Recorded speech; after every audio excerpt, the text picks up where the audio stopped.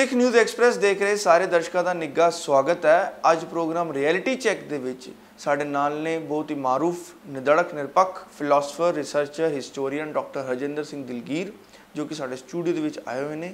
ਅੱਜ ਅਸੀਂ ਉਹਨਾਂ ਨਾਲ ਗੱਲਬਾਤ ਕਰਾਂਗੇ ਸਿੱਖ ਹਿਸਟਰੀ ਦੇ ਵਿੱਚ ਗਿਆਨੀ ਨਿਰਮਲੀਏ ਤੇ ਉਦਾਸੀਆਂ ਦਾ ਕੀ ਰੋਲ ਸੀਗਾ ਤੇ ਕੀ ਇਹਨਾਂ ਦਾ ਕੰਟਰੀਬਿਊਸ਼ਨ ਸੀਗਾ।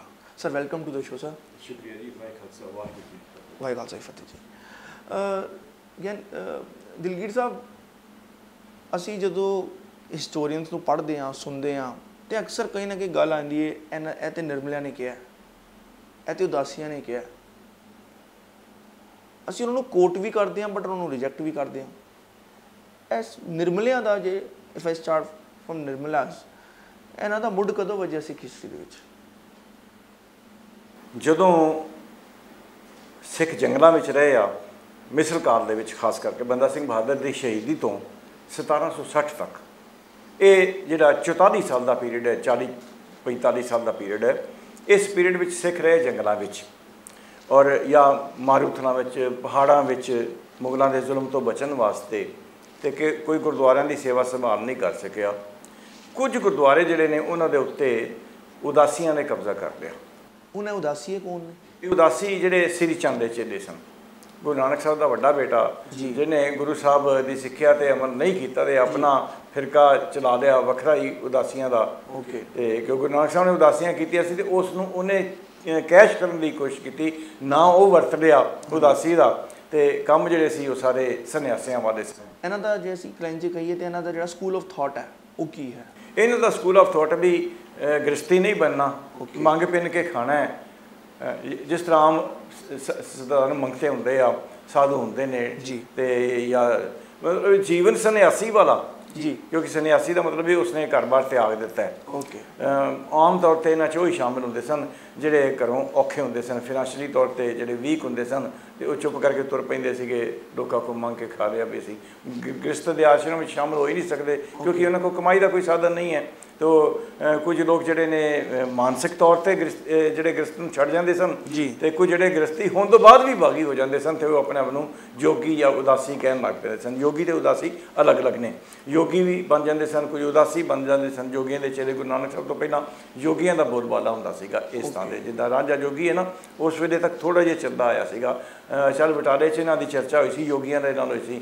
ਜਿਹੜੀ ਅ, ਮਾਨਸਰੋਵਰ ਤੇ ਚਰਚਾ ਹੋਈ ਸੀ ਜਾ ਕੇ ਉਹ ਵੀ ਯੋਗੀਆਂ ਦੇ ਨਾਲ ਹੋਈ ਸੀ। ਇਹ ਦੋ ਥਾਂ ਕਈ ਥਾਵਾਂ ਤੇ ਜੋਗੀ ਹੈਗੇ ਸਨ। ਨਾਨਕ ਮੱਤਾ ਵੀ ਕਹਿੰਦਾ ਜੋਗੀਆਂ ਦਾ ਸੀਗਾ ਗੋਰਖ ਮੱਤਾ ਸੀਗਾ ਗੋਰਖ ਨਾਂ ਦੇ ਜੋਗੀ ਦੇ ਚੇਲੇ ਤੇ ਜੇ ਇੱਕ ਲਾਈਨ 'ਚ ਕਹੀਏ ਉਦਾਸੀਆਂ ਤੇ ਜੋਗੀਆਂ 'ਚ ਲਾਈਨ ਇਹ ਫ਼ਰਕ ਹੈ ਉਦਾਸੀ ਵਿਆਹ ਨਹੀਂ ਕਰਾਉਂਦੇ ਤੇ ਜੋਗੀਏ ਫਿਰ ਵਿਆਹ ਕਰਾ ਲੈਂਦੇ ਨੇ। ਨਹੀਂ ਨਹੀਂ ਜੋਗੀ ਵੀ ਵਿਆਹ ਨਹੀਂ ਕਰਾਉਂਦੇ। ਉਦਾਸੀ ਵੀ ਵਿਆਹ ਨਹੀਂ ਕਰਾਉਂਦੇ। ਫ਼ਰਕ ਇਹ ਹੈ ਵੀ ਯੋਗੀ ਜਿਹੜੇ ਨੇ ਉਹ ਗੋਰਖ ਮਤ ਦਾ ਪ੍ਰਚਾਰ ਕਰਦੇ ਨਾਥਾਂ ਦਾ ਪ੍ਰਚਾਰ ਕਰਦੇ ਆ ਤੇ ਇਹ ਜਿਹੜੇ ਉਦਾਸੀ ਨੇ ਇਹਨਾਂ ਦਾ ਕੋਈ ਮਤ ਨਹੀਂ ਹੈ। ਓਕੇ ਇਹ ਵਿਹਲੇ ਹਨ ਜੇ ਕਿਸੇ ਦੇ ਸਿੱਖਾਂ ਦੇ ਅਦਾਲਤ ਚ ਵੜ ਗਏ ਤਾਂ ਉਹ ਸਿੱਖ ਅਖਵਾਨ ਲਾ ਪੈਂਦੇ ਆ ਮੰਦਿਰ ਚ ਵੜ ਗਏ ਤਾਂ ਮੰਦਿਰ ਦੇ। ਨਾ ਗੰਗਾ ਕੇ ਗੰਗਾ ਰਾਮ ਜਮਨਾ ਕੇ ਜਮਨਾ ਦਾਸ। ਬਿਲਕੁਲ ਠੀਕ ਹੈ।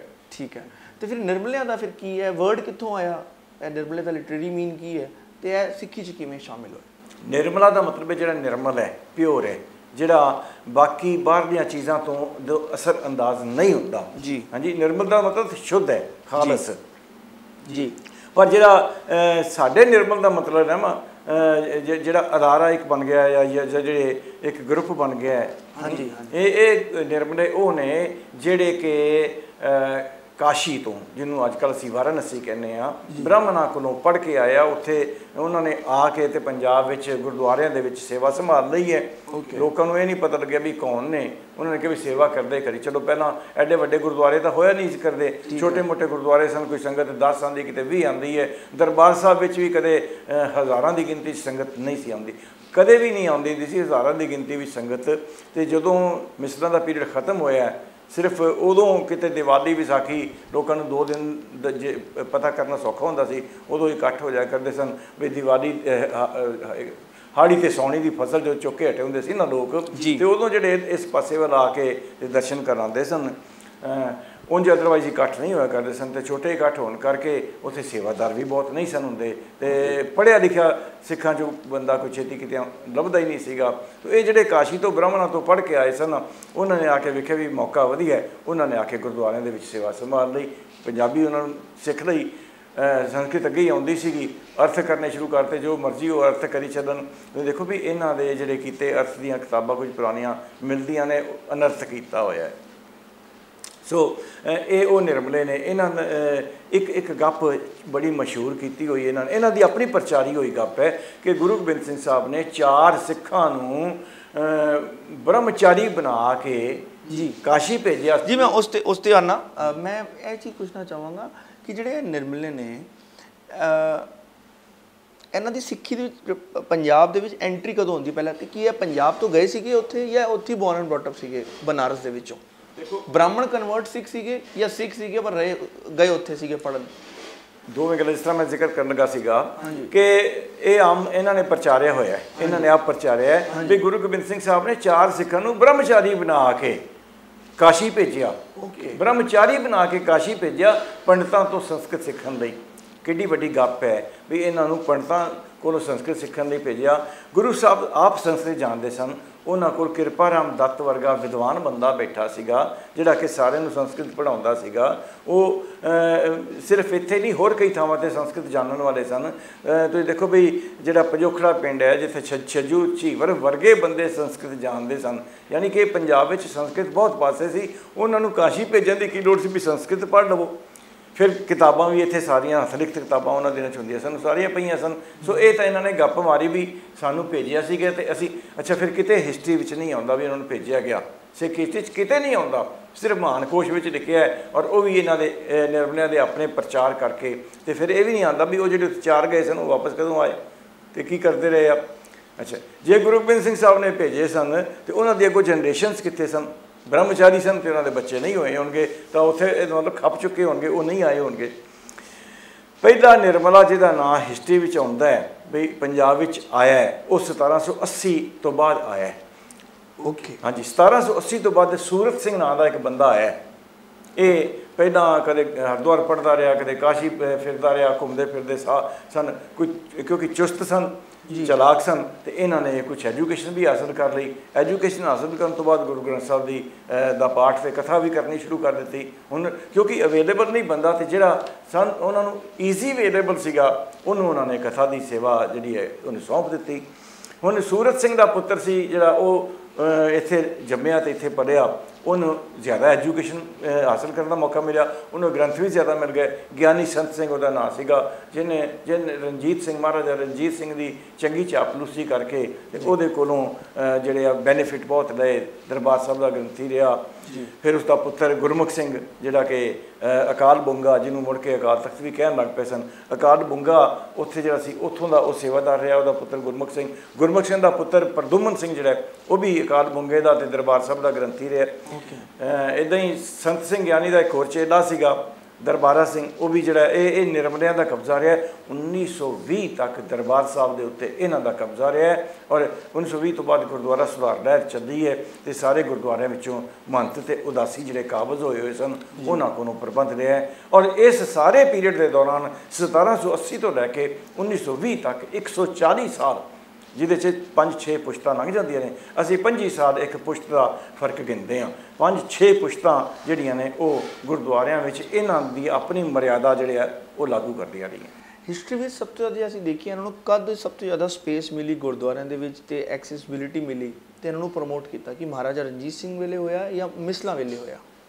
ਦੇਖੋ 1780 ਤੋਂ ਬਾਅਦ ਆਏ ਨੇ। ਠੀਕ ਹੈ। 1780 ਤੱਕ ਮਿਸਲਾਂ ਜਿਹੜੀਆਂ ਨੇ ਕਾਇਮ ਰਹੀਆਂ ਸੀਗੀਆਂ। ਉਸ ਤੋਂ ਬਾਅਦ ਮਿਸਲਾਂ ਦਾ ਕੰਮ ਮੁੱਕਣ ਲੱਗ ਪਿਆ ਕਿਉਂਕਿ ਰਣਜੀਤ ਸਿੰਘ ਨੇ ਕਬਜ਼ਾ ਕਰਨਾ ਸ਼ੁਰੂ ਕਰ ਦਿੱਤਾ। ਪਰ ਜਦੋਂ ਸਿੱਖ ਜੰਗਲਾਂ 'ਚ ਸੀਗੇ ਤਦ ਵੀ ਇਹਨਾਂ ਦੀ ਤਦ ਵੀ ਸੀਗੇ ਨਹੀਂ 1780 ਤੋਂ ਪਹਿਲਾਂ ਨਹੀਂ ਸਨ ਇੱਥੇ। 1780 ਤੋਂ ਪਹਿਲਾਂ 1765 ਤੱਕ ਤੇ ਦਰਬਾਰ ਸਾਹਿਬ ਟਿੱਠਾ ਹੋਇਆ ਸੀਗਾ। 1764 ਵਿੱਚ ਆਖਰੀ ਵਾਰੀ ਅਹਿਮਦ ਸ਼ਾਹ ਦੁਰਾਨੀ ਨੇ ਦਰਬਾਰ ਸਾਹਿਬ ਨੂੰ ਟਾਇਆ 62 ਵਿੱਚ ਤਾਂ ਬਹੁਤ ਜ਼ਿਆਦਾ ਤਬਾਹ ਕਰ ਦਿੱਤਾ ਨਾ। ਜਿਹੜਾ ਉਹਨੇ ਸਾਰਾ ਬਰੂਦ ਨਾਲ ਉਡਾ ਦਿੱਤਾ। ਉਸ ਤੋਂ ਬਾਅਦ 64 ਵਿੱਚ ਆਇਆ ਪਹਿਲੀ ਦਸੰਬਰ 19 1764 ਦੇ ਦਿਨ ਜਦੋਂ ਗੁਰਬਖਸ਼ ਸਿੰਘ ਤੇ 30 ਉਹਨਾਂ ਦੇ ਸਾਥੀ ਜਿਹੜੇ ਨੇ ਅਕਾਲ ਤਖਤ ਦੀ ਪ੍ਰੈਜ਼ੈਂਟ ਬਿਲਡਿੰਗ ਦੇ ਨਾਲ ਉੱਥੇ ਲੜ ਕੇ ਸ਼ਹੀਦ ਹੁੰਦੇ ਨੇ। ਉਸ ਤੋਂ ਬਾਅਦ ਜਿਹੜਾ ਦਰਬਾਰ ਸਾਹਿਬ ਨੂੰ 1765 ਵਿੱਚ ਜਦੋਂ ਲਾਹੌਰ ਤੇ ਕਬਜ਼ਾ ਕੀਤਾ ਤੇ ਇੱਕ ਸਾਰੇ ਸਿੱਖਾਂ ਨੇ ਸਰਬੱਤ ਖਾਲਸਾ ਜੀ ਨੂੰ ਕਹਿੰਦੇ ਆ ਇਕੱਠ ਕਰਕੇ ਦਰਬਾਰ ਸਾਹਿਬ ਦੀ ਉਸਾਰੀ ਦੁਬਾਰਾ ਸ਼ੁਰੂ ਕੀਤੀ ਹੈ। 65 ਦੀ ਗੱਲ ਹੈ। ਤੇ ਅਗਲੇ 5-7 ਸਾਲ 'ਚ ਇਹ ਸੇਵਾ ਹੁੰਦੀ ਰਹੀ ਤਿਆਰ ਹੁੰਦਾ ਰਿਹਾ ਉਦੋਂ ਮਸ਼ੀਨਾਂ ਤਾਂ ਨਹੀਂ ਸੀ ਹੁੰਦੀਆਂ। ਸੋ ਇਹ ਤਿਆਰ ਹੋਣ ਤੋਂ ਬਾਅਦ ਉਸੇ ਵੇਲੇ ਜਦੋਂ ਇਹ ਗੱਲ ਫੈਲ ਗਈ ਸਾਰੇ ਪਾਸੇ ਵੀ ਸਿੱਖਾਂ ਦਾ ਕਬਜ਼ਾ ਹੋ ਗਿਆ। ਫਿਰ ਇਸ ਜਿਹੜਾ ਸੂਰਤ ਸਿੰਘ ਹੈ ਇਹ ਆਇਆ। ਯਾਨੀ ਇਹ ਪੰਜਾਬ ਚੋਂ ਬੈਨੀਫਿਟ ਖੱਟਣ ਆਏ ਸਨ ਵੀ ਹੁਣ ਬਣ ਗਿਆ ਤੇ ਆਓ ਜਾ ਕੇ ਇਹਦਾ ਜਿਹੜਾ ਫਲ ਅਸੀਂ ਖਾ ਲਈਏ। ਇਸ ਤਰ੍ਹਾਂ ਇਹ ਨਿਰਮਲੇ ਇੱਥੇ ਆਏ। ਇਹਨਾਂ ਨੂੰ ਕੌਣ ਹੈ? ਗਾਈਡ ਕੌਣ ਕਰ ਰਿਹਾ ਸੀਗਾ ਕਿ ਇਹ ਸਿੱਖਾਂ ਦੇ ਵਿੱਚ ਤੁਸੀਂ ਜਾਓ? ਕੋਈ ਗਾਈਡਿੰਗ ਪ੍ਰਿੰਸੀਪਲ ਕੀ ਸੀਗਾ ਇਹਨਾਂ ਦਾ? ਦੇਖੋ ਇਹ ਤਾਂ ਨਹੀਂ ਕੋਈ ਸੋਰਸ ਦੱਸਦਾ ਵੀ ਹੋ ਸਕਦਾ ਹੈ ਕਿਉਂਕਿ ਜਿਨ੍ਹਾਂ ਬ੍ਰਾਹਮਣਾਂ ਕੋ ਇਹ ਪੜ੍ਹ ਕੇ ਆਏ ਨੇ ਜਿਨ੍ਹਾਂ ਨੇ ਸਿੱਖਿਆ ਦਿੱਤੀ ਹੈ ਉਹਨਾਂ ਨੇ ਇਹਨਾਂ ਨੂੰ ਭੇਜਿਆ ਹੋਵੇ ਵੀ ਜਾ ਕੇ ਤੇ ਤੁਸੀਂ ਜਾ ਕੇ ਉਹਨਾਂ ਉਹਨਾਂ ਅਦਾਰਿਆਂ ਤੇ ਕਬਜ਼ਾ ਕਰੋ। ਕਿਉਂਕਿ ਅਨਪੜ੍ਹ ਤੇ ਇਹਨਾਂ ਦਾ ਕਬਜ਼ਾ ਸੌਖਾ ਹੁੰਦਾ ਗਿਆ। ਫਿਰ ਕਥਾ ਕਰਨੀ ਮਿੱਠੀਆਂ ਮਿੱਠੀਆਂ ਗੱਲਾਂ ਕਰਨੀਆਂ। ਤੁਸੀਂ ਦੇਖੋ ਸੂਰਤ ਸਿੰਘ ਐਡਾ ਚਲਾਕ ਬੰਦਾ ਸੀ ਕਿ ਇਸ ਨੇ ਇੱਕ ਜਨਮ ਸਾਖੀ ਲਿਖੀ ਗੁਰੂ ਨਾਨਕ ਸਾਹਿਬ ਦੀ। ਜੀ। ਜੀ ਮੈਂ ਉਸੇ ਤਰ੍ਹਾਂ ਸੀਗਾ ਨਿਰਮਲਿਆ ਨੇ। ਕਿਹੜੇ ਕਿਹੜੇ ਕਿਤਾਬਾਂ ਲਿਖੀਆਂ ਨੇ ਤੇ ਉਹਨਾਂ ਦਾ ਉਹਨਾਂ ਵਿੱਚੋਂ ਗੁਰਮਤਿ ਦੀ ਕਸੌਟੀ 'ਚ ਕਿੰਨੀ ਕੁ ਖਰੀ ਉਤਰਦੀਆਂ ਨੇ? ਇੱਕ ਇਸ ਤੋਂ ਪਹਿਲਾਂ ਮੈਂ ਤੁਹਾਡੇ ਨਾਲ ਹੋਰ ਜ਼ਿਕਰ ਕਰਨਾ ਚਾਹਾਂਗਾ। ਭਾਈ ਮਨੀ ਸਿੰਘ ਦੀ ਸ਼ਹੀਦੀ ਜਿਹੜੀ ਹੈ। ਉਹ 24 ਜੂਨ 1734 ਦੀ ਹੈ। ਜੀ। ਬਾਬਾ ਦੀਪ ਸਿੰਘ ਦੀ ਸ਼ਹੀਦੀ 11 ਨਵੰਬਰ 1757 ਦੀ ਹੈ। ਜੀ। ਬਾਬਾ ਗੁਰਬਖਸ਼ ਸਿੰਘ ਦੀ ਸ਼ਹੀਦੀ ਜਿਸ ਤਰ੍ਹਾਂ ਮੈਂ ਜ਼ਿਕਰ ਕਰਕੇ ਟਿਆ 1 ਦਸੰਬਰ 1764 ਦੀ ਹੈ। ਜੀ। ਹੁਣ ਇਹ ਇਸ ਪੀਰੀਅਡ ਤੱਕ ਸੂਰਤ ਸਿੰਘ ਇੱਥੇ ਨਹੀਂ ਹੈ। ਠੀਕ ਹੈ। ਜਿਸ ਤਰ੍ਹਾਂ ਇਹਨਾਂ ਨੇ ਪ੍ਰਚਾਰ ਕਰਨਾ ਸ਼ੁਰੂ ਕੀਤਾ ਵੀ ਦਮਦਮੀ ਟਕਸਾਲ ਜਿਹੜੀ ਸੂਰਤ ਸਿੰਘ ਤੋਂ ਸ਼ੁਰੂ ਹੁੰਦੀ ਹੈ। ਤੇ ਸੂਰਤ ਸਿੰਘ ਜਿਹੜਾ ਬਾਬਾ ਦੀਪ ਸਿੰਘ ਦਾ ਚੇਲਾ ਸੀਗਾ ਇਹ ਕਹਿੰਦੇ ਰਹੇ ਭਾਈ ਮਨੀ ਸਿੰਘ ਦਾ ਚੇਲਾ ਸੀਗਾ। ਠੀਕ। ਹਾਂਜੀ। ਸੂਰਤ ਸਿੰਘ ਜੇਕਰ ਉਹਦਾ ਭਾਈ ਮਨੀ ਸਿੰਘ ਦਾ ਚੇਲਾ ਹੈ ਤਾਂ ਇਹਦਾ ਮਤਲਬ 1 ਸਾਲ ਦੀ ਉਮਰ ਵਿੱਚ ਉਹ ਚੇਲਾ ਬਣ ਗਿਆ। 34 ਦੀ ਸ਼ਹੀਦੀ ਤੇ 33 ਦਾ ਜਨਮ ਹੈ। ਸੂਰਤ ਸਿੰਘ ਦਾ ਜਨਮ 1733 ਦਾ ਹੈ। ਚ- 34 ਦੇ ਵਿੱਚ ਭਾਈ ਮਨੀ ਸਿੰਘ ਸ਼ਹੀਦ ਹੋਇਆ। ਘੱਟੋ ਘੱਟ 1 ਸਾਲ ਦੀ ਉਮਰ ਚ ਤਾਂ ਨਹੀਂ। ਬਾਬਾ ਦੀਪ ਸਿੰਘ ਦਾ ਜਨਮ ਜਦੋਂ ਹੋਇਆ, ਉਦੋਂ 23 ਸਾਲ ਦਾ ਸੀ ਤੇ ਕਾਸ਼ੀ 'ਚ ਬੈਠਾ ਹੋਇਆ ਸੀਗਾ।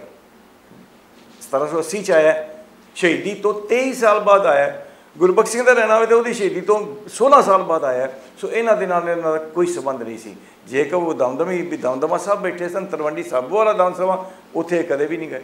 ਨਾ ਸੰਤ ਸਿੰਘ ਹੈ ਤੇ ਨਾ ਉਹਦਾ ਬਾਪ ਸੂਰਤ ਸਿੰਘ ਇਹਨਾਂ ਚੋਂ ਕੋਈ ਵੀ ਜਿਹੜਾ ਹੈ, ਗੁਰਬਖਸ਼ ਸਿੰਘ ਗੁਰਮੁਖ ਸਿੰਘ, ਪ੍ਰਦੁਮਨ ਸਿੰਘ, ਦਰਬਾਰਾ ਸਿੰਘ, ਇਹਨਾਂ ਚੋਂ ਕੋਈ ਬੰਦਾ ਦਮਦਮਾ ਸਾਹਿਬ ਨਹੀਂ ਗਿਆ ਵੀ ਜੇਕਰ ਉੱਥੇ ਪੜ੍ਹਦੇ ਆਏ ਹੋਣ ਵੀ ਬਾਬਾ ਦੀਪ ਸਿੰਘ ਕੋ ਪਹਿਲਾਂ ਪੜ੍ਹਦੇ ਰਹੇ ਹੋਣ। ਸੋ ਇਹਨਾਂ ਦੀ ਬੜੀ ਵੱਡੀ ਗੱਪ, ਇਹ ਅਸਲ 'ਚ ਹਿਸ- ਆਪਣਾ ਹਿਸਟਰੀ ਦੀ ਮਿਹਨਤ ਨਹੀਂ ਕਰਦੇ। ਵੀ ਦੇਖੀਏ ਤਾਂ ਸਹੀ ਵੀ ਇਹ ਜੋ ਅਸੀਂ ਗੱਪ ਮਾਰਨ ਲੱਗੇ ਆ ਇਹ ਹਿਸਟੋਰੀਕਲੀ ਵੀ ਠੀਕ ਹੈ ਕਿ ਨਹੀਂ? ਸੋ ਇਹਨਾਂ ਨੂੰ ਤਾਰੀਖਾਂ ਦਾ ਘੱਟੋ ਘੱਟ ਜਿਹੜਾ ਹੋਮਵਰਕ ਕਰ ਲੈਣਾ ਚਾਹੀਦਾ ਸੀ, ਇਹਨਾਂ ਨੇ ਇਹ ਬੇਵਕੂਫੀ ਕੀਤੀ ਇਸੇ ਕਰਕੇ ਫੜੇ ਗਏ ਵੀ ਇਹ ਇਹਨਾਂ ਦਾ ਕੋਈ ਨਾ ਮਨੀ ਸਿੰਘ ਜਾਂ ਦੀਪ ਸਿੰਘ ਜਾਂ ਗੁਰਬਖਸ਼ ਸਿੰਘ ਕਿਸੇ ਨਾਲ ਕੋਈ ਸੰਬੰਧ ਨਹੀਂ ਸੀ। ਇੱਕ ਤੁਸੀਂ ਸਵਾਲ ਕੀਤਾ ਕਿ ਇਹਨਾਂ ਨੇ ਕਿਹੜੀਆਂ ਕਿਹੜੀਆਂ ਕਿਤਾਬਾਂ ਲਿਖੀਆਂ?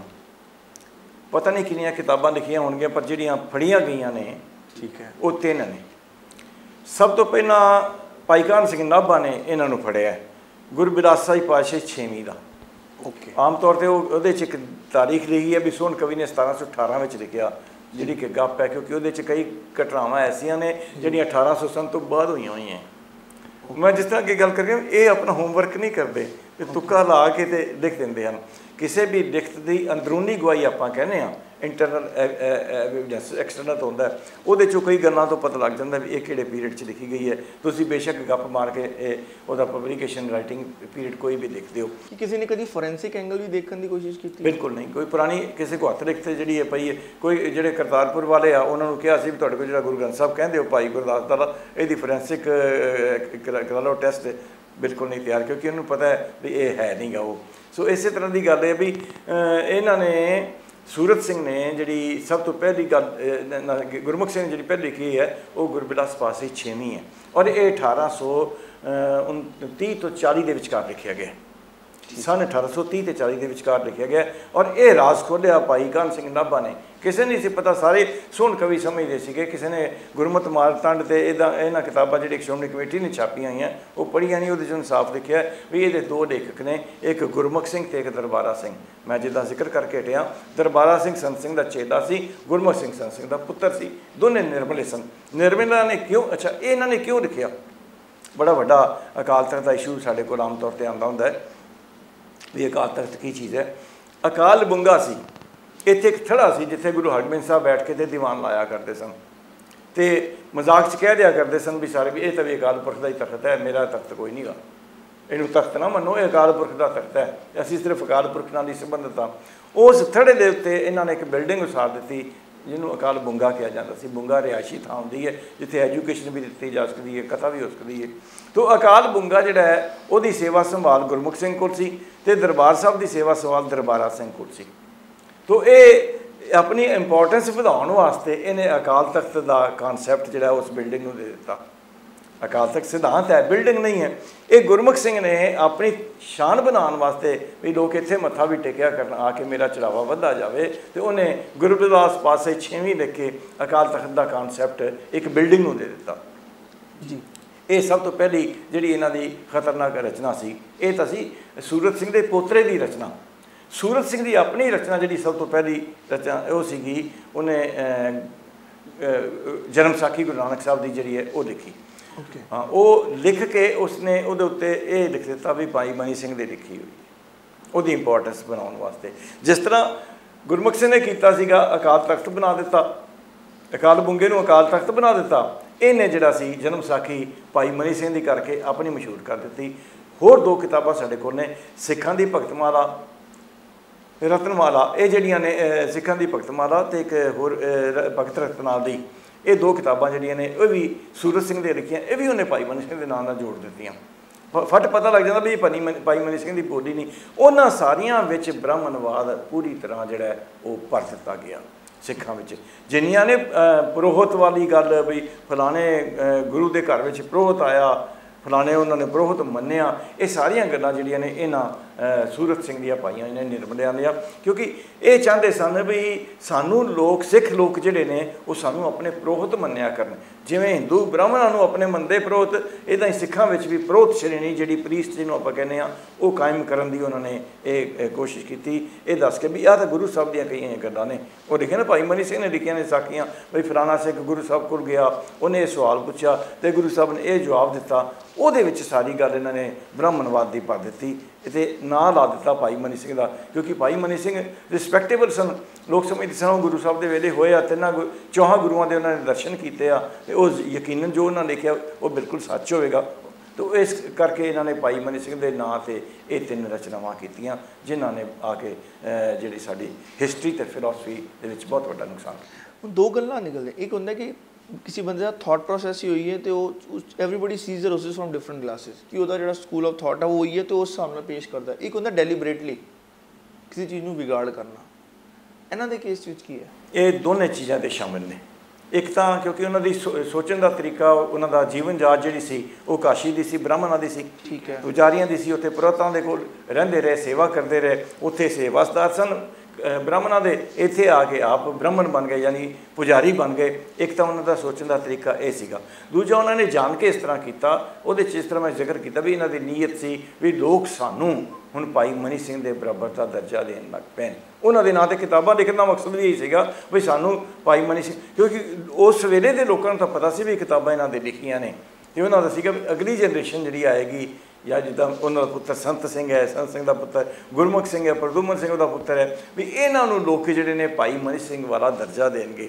ਸੋ ਇੱਥੇ ਇਹਨਾਂ ਦੀ ਇਹ ਨੀਅਤ ਸੀ, ਇਸ ਕਰਕੇ ਇਹ ਡਿਸਟੋਰਟ ਕਰਕੇ ਸਿੱਖੀ ਵਿੱਚ ਬ੍ਰਾਹਮਣਵਾਦ ਜਿਹੜਾ ਕਿਤਾਬਾਂ ਵਿੱਚ ਭਰਿਆ ਤੇ ਨਾਲ ਹੀ ਦੇ ਨਾਲ ਹੀ ਜਿਹੜੇ, ਕਿਉਂਕਿ ਗੁਰਦੁਆਰਿਆਂ ਦਾ ਪ੍ਰਬੰਧ ਇਹਨਾਂ ਕੋਲ ਸੀ ਵੱਡੇ ਗੁਰਦੁਆਰੇ ਦਰਬਾਰ ਸਾਹਿਬ ਦਾ, ਦਰਬਾਰ ਸਾਹਿਬ ਦੀ ਜਿੰਨੀ ਮਰਿਆਦਾ 'ਚ ਜਿੰਨਾ ਕੁਝ ਗਲਤ ਹੈ, ਉਹ ਸਾਰਾ ਸੂਰਤ ਸਿੰਘ ਤੇ ਸੰਤ ਸਿੰਘ ਦਾ ਦਿੱਤਾ ਹੋਇਆ। ਜੀ, ਜਿਹੜੀ ਸੰਪਰਦਾਵਾਂ ਨੇ ਡੇਰੇਦਾਰ ਕਹਿ ਲਓ, ਉਹ ਕਹਿੰਦੇ ਨੇ ਕਿ ਜਿਹੜੇ ਕਾਸ਼ੀ ਤੋਂ ਪੜ੍ਹ ਕੇ ਆਏ ਨੇ, ਜਿਹੜੇ ਗੁਰੂ ਸਾਹਿਬ ਨੇ ਉੱਥੇ ਸਿੰਘ ਭੇਜੇ ਸੀਗੇ, ਉੱਥੇ ਤਾਲੀਮ ਹਾਸਿਲ ਕਰਨ ਵਾਸਤੇ, ਤਾਂ ਉਹ ਇਸ ਲਈ ਭੇਜੇ ਸੀਗੇ ਕਿ ਜਿਹੜੇ ਨਿਰਮਲੇ ਸੰਤ ਹੈਗੇ ਨੇ, ਉਹ ਸ਼ਾਸਤਰ ਦੇ ਦੇ ਮਾਹਿਰ ਹੋਣ ਤੇ ਜਿਹੜਾ ਖਾਲਸਾ ਹੈ, ਉਹ ਸ਼ਸਤਰ ਦਾ ਮਾਹਿਰ ਹੋਵੇ।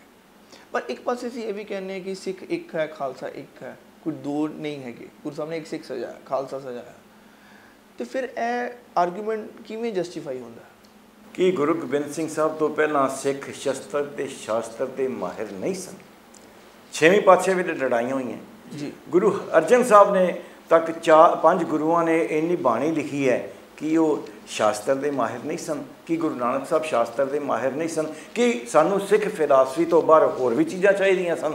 ਇਹਦਾ ਮਤਲਬ ਅਸੀਂ ਗੁਰਬਾਣੀ ਨੂੰ ਕੰਪਲੀਟ ਨਹੀਂ ਮੰਨਦੇ।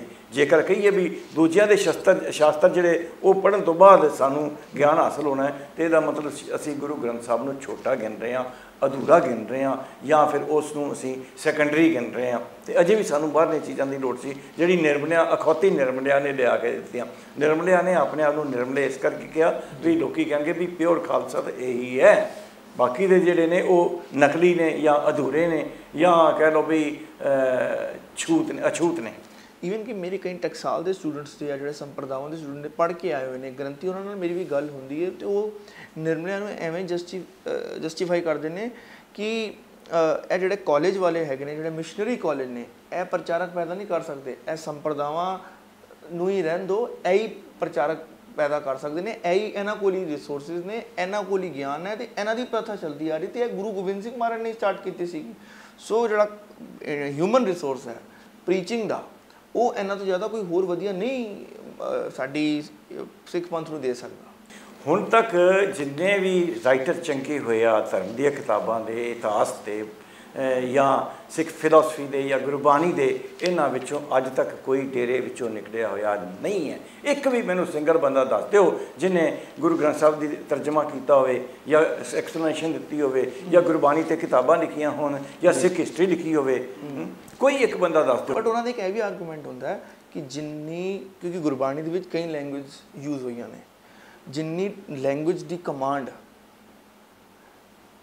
ਨਿਰਮਲਿਆਂ ਨੂੰ ਉਦਾਸੀਆਂ ਨੂੰ ਹੈ ਕਿਉਂਕਿ ਇਹਨਾਂ ਦੀ ਇਹ ਸਿਰਫ ਇੱਕ ਖੋਸ਼ ਨਹੀਂ ਪੜਦੇ ਕਈ ਜ਼ੁਬਾਨਾਂ ਦੇ ਖੋਸ਼ ਲਿਪੀਆਂ ਪੜਦੇ ਨੇ। ਸੋ ਜਿਹੜੀ ਲੈਂਗੁਏਜ ਦੀ ਅੰਡਰਸਟੈਂਡਿੰਗ ਹੈਗੀ ਇਹਨਾਂ ਤੋਂ ਜ਼ਿਆਦਾ ਕਿਸੇ ਨੂੰ ਨਹੀਂ ਹੈਗੀ। ਤੇ ਜਿਹੜੇ ਯੂਨੀਵਰਸਿਟੀ ਦੇ ਹੁਣ ਸਕਾਲਰਸ ਆਏ ਨੇ ਉਹਨਾਂ ਨੇ ਇੱਕ ਦੋ ਖੋਜ ਪੜ੍ਹੇ ਨੇ ਲੈਂਗੁਏਜ ਦੇ ਤੇ ਉਹਨਾਂ ਨੂੰ ਇੰਨਾ ਨਹੀਂ ਗਿਆਨ ਹੈਗਾ। ਬੜੀ ਇਹ ਹਾਸੇ ਵਾਲੀ ਗੱਲ ਕਰਦੇ ਨੇ। ਹਾਂਜੀ। ਤੁਸੀਂ ਇੱਕ ਨੋਟ ਕਰੋ ਵੀ ਜਿੰਨੇ ਡੇਰੇ ਨੇ ਹਾਂਜੀ। ਇੱਥੇ ਉਹ ਬੱਚੇ ਜਾਂਦੇ ਨੇ ਜਿਹੜੇ ਕੰਮ ਕਰਨ ਤੋਂ ਭੱਜਦੇ ਨੇ। ਔਰ ਮੋਸਟ ਆਫ them 10ਵੀਂ ਫੇਲ ਹੁੰਦੇ ਆ ਜਾਂ 8 ਜਮਾਤਾਂ ਪਾਸ ਹੁੰਦੇ ਆ ਜਾਂ ਦੋ ਜਮਾਤਾਂ ਵਿੱਚ ਭੱਜੇ ਹੁੰਦੇ ਆ। ਇਹ ਕੰਮ ਤੋਂ ਤੇ ਪੜ੍ਹਾਈ ਤੋਂ ਭੱਜੇ ਹੋਏ ਬੱਚੇ ਇਹਨਾਂ ਕੋਲ ਆਉਂਦੇ ਨੇ। ਇਹਦੇ ਮੁਕਾਬਲੇ ਜੇ ਸਿੱਖ ਮਿਸ਼ਰੀ ਕਾਲਜ ਦੇਖੇ ਜਾਣ, ਕੋਈ ਮਾੜੇ ਤੋਂ ਮਾੜਾ ਉੱਥੇ ਸਟੂਡੈਂਟ ਹੋਏਗਾ ਤੇ 10ਵੀਂ ਪਾਸ ਹੋਏਗਾ ਤੇ ਪਲੱਸ 2 ਤੇ ਬੀਏ ਤੇ ਐਮਏ ਪਾਸ ਉੱਥੇ ਜਾਂਦੇ ਨੇ। ਸ- ਔਰ ਇਹਨਾਂ ਦੇ ਪੜਾਉਣ ਵਾਲੇ ਬੰਦੇ ਜਿੰਨੇ ਨੇ, ਉਹ ਸਾਰੇ ਸਾਧ ਨੇ। ਕਿਉਂਕਿ ਡੇਰੇਦਾਰ ਜਿਹੜੇ ਆਪ ਹੀ ਨੇ ਨਾ ਇਹਨਾਂ ਨੂੰ ਐਜੂਕੇਸ਼ਨ ਦਿੰਦੇ ਇਹਨਾਂ ਡੇਰਿਆਂ ਦੇ ਡੇਰਾਦਾਰ ਕੋਈ ਐਸਾ ਦੱਸੋ ਕਿੱਥੋਂ ਪੜ੍ਹ ਕੇ ਆਏ ਨੇ ਇਹਨਾਂ ਕੋ ਕਿਹੜੇ ਗ੍ਰੰਥ ਹੈਗੇ ਨੇ ਜਿਹੜੇ ਇਹਨਾਂ ਨੇ ਜ਼ਿਆਦਾ ਪੜ੍ਹੇ ਨੇ। ਔਰ ਦੂਜੇ ਮੁਕਾਬਲੇ 'ਚ ਇਹਨਾਂ ਦੇ ਜਿਨ੍ਹਾਂ ਨੇ ਸਿੱਖ ਹਿਸਟਰੀ ਲਿਖੀ ਹੈ ਜਾਂ ਸਿੱਖ ਫਿਲਾਸਫੀ ਲਿਖੀ ਹੈ ਜਾਂ ਗੁਰੂ ਗ੍ਰੰਥ ਸਾਹਿਬ ਦੀ ਟ੍ਰਾਂਸਲੇਸ਼ਨ ਕੀਤੀ ਹੈ ਭਾਵੇਂ ਉਹ ਪ੍ਰਿੰਸੀਪਲ ਸਾਹਿਬ ਸਿੰਘ ਹੈ ਤੇ ਭਾਵੇਂ ਉਹਦੇ 'ਚ ਤੇਜਾ ਸਿੰਘ ਹੈ ਪ੍ਰਿੰਸੀਪਲ ਤੇਜਾ ਸਿੰਘ ਹੈ ਜਾਂ ਗੋਪਾਲ ਸਿੰਘ ਦਰਤੀ ਹੈ ਗੁਰ ਅ, ਜਾਂ- ਫਿਰ ਆਪਣੇ ਗੁਰਬਚਨ ਸਿੰਘ ਤਾਲਬ ਹੈ ਜਾਂ ਮੇਰੀ ਹੈ ਇਹਨਾਂ ਚੋਂ ਸਾਡਿਆਂ ਚੋਂ ਕੋਈ ਐਸਾ ਬੰਦਾ ਨਹੀਂ ਜਿਹੜਾ ਘੱਟੋ ਘੱਟ ਪੀ ਐਚ ਡੀ ਜਾਂ ਐਮ ਏ ਨਾ ਕੀਤੀ ਹੋਵੇ। ਨੰਬਰ 2 ਸਾਡੇ ਚੋਂ ਇਹਨਾਂ ਸਾਰੇ ਟ੍ਰਾਂਸਲੇਸ਼ਨ ਕਰਨ ਵਾਲੇ ਚੋਂ ਕੋਈ ਐਸਾ ਬੰਦਾ ਨਹੀਂ ਜਿਹਨੇ ਘੱਟੋ ਘੱਟ 20 25 ਡਿਕਸ਼ਨਰੀਆਂ ਜਿਹੜੀਆਂ ਨੇ ਉਹ ਉਹਨਾਂ ਦੀ ਮਦਦ ਨਾ ਲਈ ਹੋਵੇ। ਮੈਂ ਖੁਦ 40 ਡਿਕਸ਼ਨਰੀਆਂ ਦੀ ਮਦਦ ਲਈ ਹੈ ਇਸ ਕੋਈ ਸ਼ੱਕ ਦੀ ਗੱਲ ਨਹੀਂ। ਸੰਸਕ੍ਰਿਤ ਦੀ ਪ੍ਰਾਕ੍ਰਿਤ ਦੀ ਪਾਲੀ ਦੀ ਫਾਰਸੀ ਦੀ ਅਰਬੀ ਦੀ ਔਰ ਸੰਸਕ੍ਰਿਤ ਦੀ ਮੇਰੇ ਕੋਲ 10 ਡਿਕਸ਼ਨਰੀ ਇਹ ਜਿੰਨੇ ਇਹਨਾਂ ਕੰਮ ਕਰਨ ਵਾਲੇ ਨੇ ਉਹਨਾਂ ਨੇ ਕੀਤੇ ਆ ਇਹਨਾਂ ਦੇ ਡੇਰਿਆਂ ਵਿੱਚ ਤਾਂ ਉਹਨਾਂ ਨੂੰ ਪੂਰੀ ਤਰ੍ਹਾਂ ਪੰਜਾਬੀ ਵੀ ਨਹੀਂ ਆਉਂਦੀ ਤੇ ਅੰਗਰੇਜ਼ੀ ਦਾ ਤਾਂ ਸੋਚੋ ਹੀ ਕੋਈ ਨਾ ਕਿਉਂਕਿ ਸਭ ਤੋਂ ਵਧੀਆ ਸੰਸਕ੍ਰਿਤ ਦੀ ਡਿਕਸ਼ਨਰੀ ਹੈ ਮੋਨੀਅਰ ਵਿਲੀਅਮਸ ਦੀ ਹੈ। ਤੇ ਜਿਨ੍ਹਾਂ ਨੂੰ ਅੰਗਰੇਜ਼ੀ ਦੇ ਦੋ ਅੱਖਰ ਵੀ ਨਹੀਂ ਆਉਂਦੇ ਸਕੂਲ ਚੋਂ ਭੱਜੇ ਹੋਏ ਨੇ ਉਹ ਕਿਸ ਤਰ੍ਹਾਂ ਉਹਨਾਂ ਦੇ ਕੋਲ ਸੰਸਕ੍ਰਿਤ ਦਾ ਗਿਆਨ ਹੈਗਾ। ਸੰਸਕ੍ਰਿਤ ਦੀਆਂ ਦੋ ਵੱਡੀਆਂ ਡਿਕਸ਼ਨਰੀਆਂ ਜਿਹੜੀਆਂ ਨੇ ਚਤੁਰਵੇਦੀ ਦੀ ਹੈ ਆਪਟੇ ਦੀ ਹੈ ਉਹ ਇਹਨਾਂ ਨੇ ਕਿੱਥੋਂ ਪੜੀਆਂ ਹੋਣਗੀਆਂ। ਜਿਹੜੇ ਕਹਿੰਦੇ ਨੇ ਵੀ ਸਾਡੇ ਕੋਲ ਗਿਆਨ ਹੈ ਇਹਨਾਂ ਕੋਲ ਤਾਂ ਇੱਕ ਇੱਕ ਜਿਹੜਾ ਸਾਧ ਡੇਰੇਦਾਰ ਹੁੰਦਾ ਹੈ ਜੋ ਖੁਦ ਅਨਪੜ੍ਹ ਹੁੰਦਾ ਹੈ ਉਹ ਰਟੇ ਰਟਾਏ ਜਿਹੜੇ ਅਰਥ ਨੇ ਉਹ ਹੁੰਦੇ ਆ। ਹੁਣ ਮਿਸਾਲ ਵਜੋਂ ਚੌਕ ਮਹਿਤਾ ਡੇਰਾ ਜਿਹੜਾ ਆਪਣੇ ਆਪ ਨੂੰ 77 ਤੋਂ ਝੂਠੀ ਟਕਸਾਲ ਦਮਦਮੀ ਟਕਸਾਲ ਕਹਿਣ ਲੱਗ ਪਏ ਨੇ। ਤੇ ਗੁੰਡਾ ਟਕਸਾਲ ਹੋ ਹਾਂ ਕਿਉਂਕਿ ਜਿੱਦਾਂ ਦੀ ਹਰਕਤਾਂ ਜਿਹੜੇ ਬੰਦੇ ਮਾਰਦੇ ਨੇ ਤੇ ਧਮਕੀਆਂ ਦਿੰਦੇ ਨੇ ਤੇ ਛਬੀਲਾਂ ਲਾਉਂਦੇ ਨੇ ਉਹਨਾਂ ਤੋਂ ਗੁੰਡਾ ਟਕਸਾਲੀ ਕਿਹਾ ਜਾਂਦਾ ਹੈ। ਉਹਨਾਂ ਨੇ ਉਹਨਾਂ ਦੇ ਵਿੱਚ ਤੁਸੀਂ ਪੜਨ ਵਾਲੇ ਬੰਦਿਆਂ ਦੀ ਗਿਰੋ ਗੱਲ ਇਹਨਾਂ ਚੋਂ ਕਿਹੜਾ ਬੰਦਾ ਹੈ ਜਿਹੜਾ 10 ਜਮਾਤਾਂ ਤੋਂ ਵੱਧ ਪੜਿਆ ਹੋਵੇਗਾ? ਇੱਕ ਕਰਤਾਰ ਸਿੰਘ ਨੂੰ ਛੱਡ ਕੇ। ਕਰਤਾਰ ਸਿੰਘ ਪਟਵਾਰੀ ਸੀ।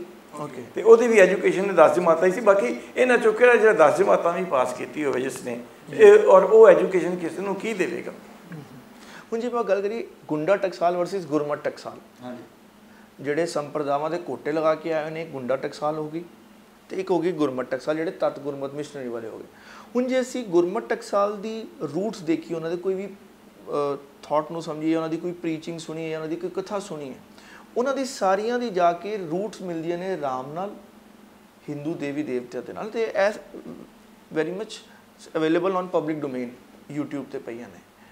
ਉਹਨਾਂ ਦਾ ਜਿਹੜਾ ਕਈਆਂ ਦਾ ਜਿਹੜਾ ਉਦਾਸੀਆਂ ਦਾ ਜਿਹੜਾ ਪਹਿਰਾਵਾ ਵੀ ਹੁੰਦਾ, ਉਹ ਵੀ ਭਗਵਾ ਹੁੰਦਾ। ਹੈ ਉਹਨਾਂ ਨੂੰ ਤੇ ਦੂਜੇ ਪਾਸੇ ਜਿਹੜੇ ਤਤ ਗੁਰਮਤ ਵਾਲੇ ਨੇ, ਉਹ ਤੇ ਗੁਰਮਤ ਨੂੰ ਦੇ ਅਨੁਸਾਰ ਅਕਾਲ ਪੁਰਖ ਨਾਲ ਜੋੜਦੇ ਨੇ, ਉਹ ਰਾਮ ਜਿਹੜਾ ਦਸ਼ਰਥ ਦਾ ਪੁੱਤਰ ਨੂੰ ਰਿਜੈਕਟ ਕਰਦੇ ਨੇ। ਪਰ ਬੰਗਲਾ ਸਾਹਿਬ ਦੀ ਇਸ ਚੀਜ਼ਾਂ ਤੋਂ ਵੀ ਇਹ ਚੀਜ਼ਾਂ ਕਹੀਆਂ ਗਈਆਂ ਨੇ ਕਿ ਗੁਰੂ ਨਾਨਕ ਤੇ ਰਾਮ ਦੇ ਵਿੱਚ ਇੱਕੋ ਜੋਤ ਸੀਗੀ, ਜਿਹਦਾ ਨਾਮ ਚਲੋ ਲੈਟ ਮੀ ਟੇਕ ਹਿਸ ਨੇਮ ਉਹਦਾ ਨਾਮ ਬੰਤਾ ਸਿੰਘ ਹੈ।